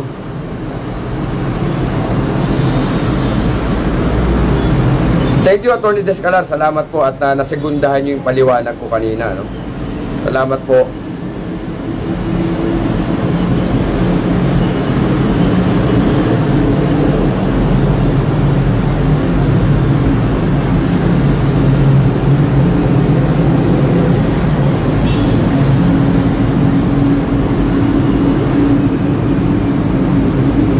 Kaya dapat madalas talaga sa range talaga para maganda placement. Ayan uh, po yung TRAED program natin. Kaya akala po ng mga ibang naninira sa atin, ang tinuturo ko lang daw, nakatayo, pumuputok. Ah, uh, nakatayo, pumuputok kasi phase 1 pa lang po yung tinuturo natin, no? Malaking programa po ang TRAED, mga sir, mga ma'am. Opo, ay yung nakikita nyo po yan, puro foundation pa lang po yung tinuturo natin. Hmm. Hmm, to. Kasi lahat naman po ng mga nagtinuturuan pa natin, karamihan dyan, bago pa sila sa baril. So, eh, hindi pa tayo pwede magturo ng mga advance para sa kanila, no? Puro ano po niya, building foundation din po tayo pagdating sa markmanship. Tingnan muna natin, ipatamain muna natin sila ng maayos, no? Opo, opo. So, phase 1 pa lang po po tayo ng trade. Alam niyo po, nagdalawa lang kami ni ni ano ni AJ ang nagta-trade so far. At itong ating ano, itong ating uh, Spade Tactical One Gun Pilipinas Cebu sa uh, chapter with Alas de Espadas, no? So yun po yun, ang laking trabaho po nito. Kaya nga po, yung, kami mismo, ako po mismo, no, magte-training po kami sa Krame, nung tinatawag na certified uh, instructor at certified um, uh, safety officer sa Camp Krame. Uh, yan po, nagre-ready kami ng admin AJ. Kasi po yung mga taong may magiging part ng triad, mag-undergo po kami ng training sa FTO, yung uh, uh, safety officer at saka certified uh, instructor training po. Dahil uh, seryoso po ang trade seryosong bagay po sa atin sa Gun Pilipinas ang trade. Bukod sa live po na ito, yung skill po na pwede naming ma-share at maituro sa mga member, no? Ulitin ko po, kaya dalawa ang component ng trade. Yung panunood nyo ng live, pagtuturo namin dito, uh, batas, mindset, uh, yung tamang uh, pananaw, dito po namin sinisimulan. Pagdating na sa firing range, yun na po yung skill enhancement yung pagpapataas ng skill level sa marksmanship. It is it must be combined. It must be combined mga kasama, no?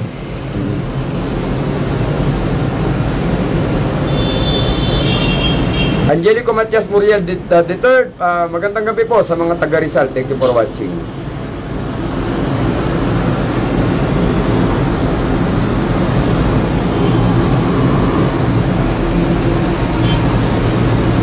So mga kapatid, ano, ah sana naging malinaw po itong ating gabi ngayon at ang oras natin ay alas 11 na po ng gabi, no? At uh, we are live for about how many hours na ba tayo? Eh, tingnan natin yung oras natin, no? Oo. So, uh, ha?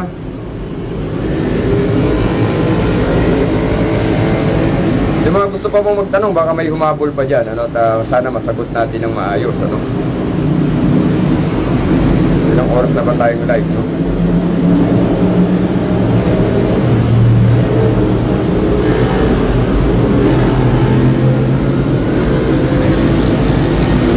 Yes, Sir JJ. Opo, wala namang bayad po ang trade natin. Huwag kayong mag-alala, no? Eh, wala pong bayad, no? So, nagsimula tayo parang ano, no? Um, parang um, 8.45 ata tayo nagsimula, no? So, ang oras natin ay ano na po tayo? Ay 11 na ng gabi, mga kapatid, no? So, yun. Um, sana po ah, ngayong gabi meron kaming naibahagi sa inyo, no?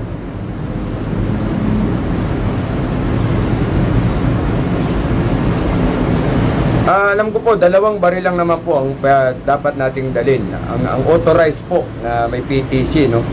Opo, hanggang dalawang baril lang po yan, no? Ah, maganda nga po kung sport shooter tayo. Opo, pwede po yan. Pwede po yan, no? Pwede po yan.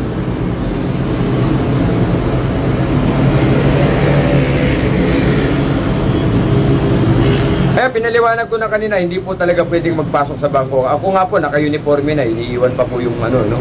Yung baril sa security guard, no?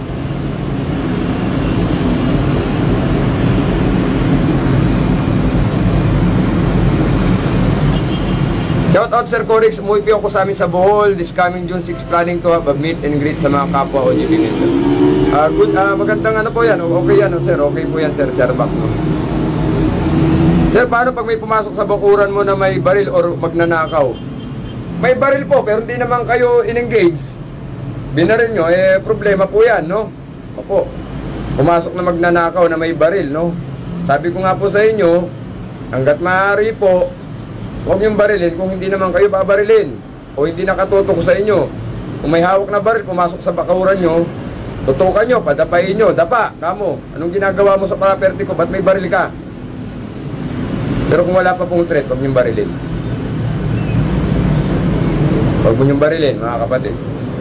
Mamaya, binarin niyo, may nakakita pa. Talo po kayo dyan, kahit nasa loob ng property niyo. Pero may baril, pumasok sa bakuran niyo, magnanakaw, tama yung sabi ni Atty. Descalar, eh, may kasamang pag-atake, that is the time you could use your firearm. That is the time you could shoot that guy. Pwede mo nang barilin yan. Sabi nga ni Descalar kanina, kapag yung uh, mayroon ng pag-atake, nasa loob ng property mo, at aatakihin ka, may baril, that is the time you could engage the person. Pero kung wala naman, tutukan mo na lang, dapa, kamo, bitaw mo yung baril mo, pare. Huwag mo kung itulak, kasi pag yan, iniangat mo yan, at itinutok mo sa akin, babarilin kita, kapatid. Bitawan mo yan, dapa.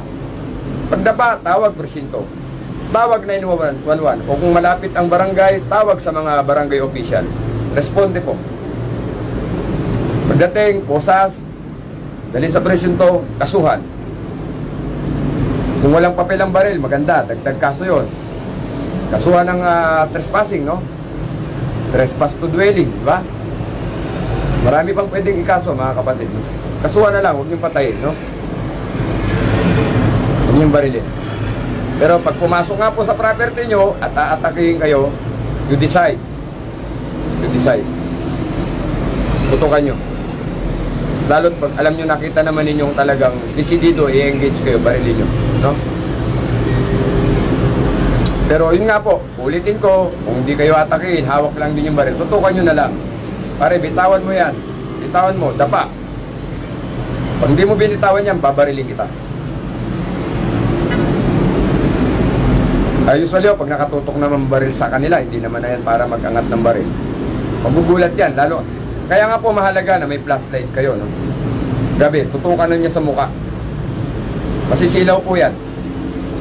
Masisilaw yan. Tutukan niyo ng baril. Kita mo yung baril mo, dapa. Tutok niyo po yung flashlight sa mukha, nakatutok ang baril. Yan po ang uh, posisyon. Yan po. Ito flashlight, ito baril.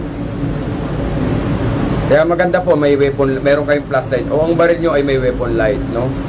May weapon light ang baril, no? So yun po.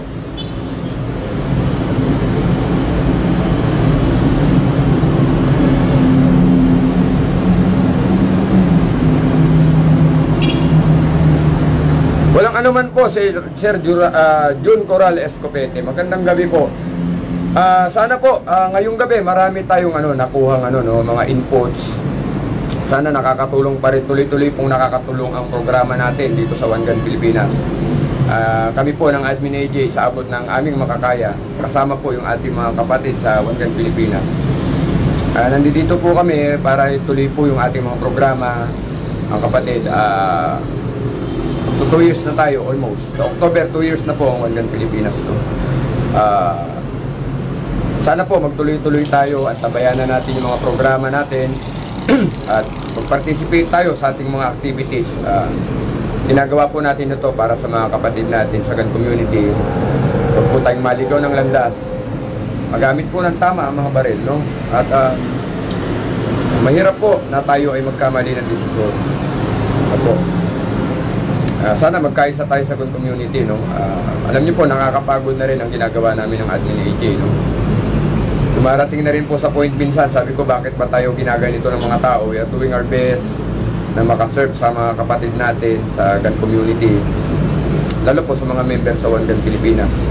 Uh, lasa, lagi ko nga sinasabi sa admin ni AJ, uh, isipin mo na lang uh, kapatid na tayo ay torch bearer, no? yung may bitbit po ng lampara na may ilaw para magliwanag sa kalsada. So kung ang liwanag po ng lampara ay papatayin natin, uh, magdidilim ang paligid para sa mga tao na gusto pang matuto at magabayan dito sa gun community. Gusto po natin na sana lahat tayo yung parte ng trade tayo ay uh, willing matuto at willing magturo. Lagi ko pong sinasabi sa mga member ng One Gun Pilipinas, kung ano sana yung natututunan ninyo sa amin, ibinabahagi nyo sa mga newbie. Hindi po exclusive ang trade para lang sa amin, sa management and leader, leadership ng uh, OGP tayo po ay lahat, tayo pong lahat dapat ay maging parte ng trade. Huwag po natin ipagdamot yung ating mga natututunan. I-share natin sa mga kapatid natin. Hmm. Uh, alam niyo po kami, uh, minsan napapagod kami, nalulungkot kami sa mga nangyayari. Ano? Uh, dumarating tayo sa mga intriga, tayo ay binabato ng mga kung ano-anong akusasyon. Pero yun na nga po, uh, ang pinangahawakan na lang namin ng Admin AJ, yung inyo pong uh, ano, no, suporta mga kapatid. Uh, hindi po kami kumikita rito ng kung anumang salapi dito. No? Uh, makikita niyo po itong page ko, wala pa naman itong kinikitang pera ito. Hindi pa ito nagmo-monetize itong aking page. Opo, uh, ano po ang gusto nating iparating, no? Ang gusto po namin sana, uh, kung hindi nyo na po talaga kami kailangan sa One Gun Pilipinas, iwanan na lang po ninyo, huwag na niyo po kaming batuhin ng mga ano, no, intriga at masira ang grupo. Kasi marami pa po kaming aabutin na tao, no? Marami po po kaming tutulungan. Kung hindi kayo magiging part ng One Gun Pilipinas, lumabas na lang po kayo, wag na po nyo kaming ano, no, gagawan pa ng issues. Opo, ah, uh, kasi po, marami may mga tao rin po kasi na ano, uh, siguro pagkaramdam nila na mali ang mga ginagawa namin sa Gun Pilipinas o, at uh, sila ay mas marunong sa atin. Uh, hindi nyo na po kailangan ng Gun Pilipinas kung kayo po ay sa tingin nyo ay mas alam ninyo po yung ano yung inyong ginagawa kaysa sa sinasabi namin. Apo. Uh, sa mga sumusuporta po sa Gun Pilipinas, lalo yung mga kapatid natin sa Mindanao, maraming salamat po sa inyo, no? Uh, tulungan nyo po, palakasin nyo po ang loob namin, mga kapatid. Opo, uh, malaking ano po ito, malaking trabaho po yung Gun Pilipinas. O, maganda po yung hangarin natin sa mga kapatid natin sa gun community. Sa, sana po, uh, maging parte po kayo ng solusyon hindi po kayo parte ng ah, distraction ng grupo, no, mga kapatid, no? So, ah, so much for that, mga kapatid. Ah, tapos na po ang ating programa, no? At ako po ay magpapahinga pa at ako may pasok pa po sa trabaho bukas. Ah, ako po ay public servant din, ano? Ah, may obligasyon din po ako sa ano, no, sa aking trabaho sa gobyerno bilang empleyado ng gobyerno, no? Ah, muli po, maraming salamat po sa ating mga counterpart, no, ang Arms Corps, no? With Lilibet um, Vasquez, uh, Arms Corps sale po yan, sa sales po ng Arms Corps, si Ma'am Lilibet. Ah, Trust Trade with Ma'am uh, Joy Gutierrez, magandang gabi po sa inyo, no? Reloaders Canin Ammo Trading ng Kuya Ronnie Taruk, ng Reloaders Canin Ammo Trading sa Karami Arcade po yan, ano? Jetro International ni Sir Jetro Dionisio po, magandang gabi sir. Shooter Arms Manufacturing Incorporated with uh, Sir Juke De Leon, uh, Eric Mikutuan, and uh, Ma'am Tiny De Leon. Magandang uh, gabi po. Salamat sa suporta sa Wangga Pilipinas. Robert Special Gun Oil ni Sir Robert Maroyotan. Sir, maraming salamat po. Uh, kayo po ay kasama namin sa Wangga Pilipinas. Same thing with Lucas Tactics. Magandang gabi, uh, Putol Lucas Tactics. No? Uh, salamat sa mga discount sa mga member. No? Uh, quality holster po na Kinetic from Lucas Tactics. And uh, Ma'am Maria Joanna Catalan and Sir Jun Catalan ng Team Cats. Uh, salamat po sa pagsubaybay at pagsuporta sa Gun Pilipinas. Together with your team, no, yung mga member ng Team Cats. Uh, magandang gabi po sa ating lahat, ano? At sa ating mga chapter leaders, no? Ang dami-dami na po. Medyo uh, masakit na po yung lalamunan ko. Medyo pagod na po ako. So, mga chapter leader ng Pangasinan, ng uh, na OGP uh, Rizal, Bulacan, Cavite, uh, Bohol, Negros, uh, ang ating Mindanao, no? Maguindanao, Dato Omar Yusuf, uh, ating uh, The Independence sa Pilipinas, ang uh, Mindanao, kababaihan ng Mindanao, Cebu with Isrep Dos, Joel Tondo ng ating um, Batangas, no? Uh, yan po, at ang ating uh, Quezon, uh, dalawang bago nating chapter ngayon, Quezon and Laguna. Magandang gabi po sa inyo mga kapatid, no? Ang ating Gun Pilipinas, New York, USA, Touch Daily, no? Henry Tadena, ang uh, Italy po natin with June uh, Francisco ng uh, Gun Pilipinas, Italy. Magandang gabi po sa ating lahat mga kapatid. Sana, ayan, Lea Rosso ng Pampanga, no? Gun Pilipinas, Pampanga. Magandang gabi kapatid, no? Thank you for watching, Utol. Um, ayun. At uh, sana po uh, nakatulong ngayong gabi at na, may natutunan po tayo sa ating programa. Uh, yun lamang po mga kapatid at uh, mag-iingat tayo palagi, mananalangin. Umiwas po tayo sa mga bagay na alam nyo, uh, ikapapahamak natin. Uh, lagi po tayo sana nasa tamang desisyon para po tayo ay uh, mabuhay ng matiwasay at mapayapa. Ito po ay para sa ating pamilya, para sa ating bayan, at unang-una po sa Diyos. So, Gun Pilipinas, mabuhay po tayong lahat, no? Magandang gabi po sa ating lahat.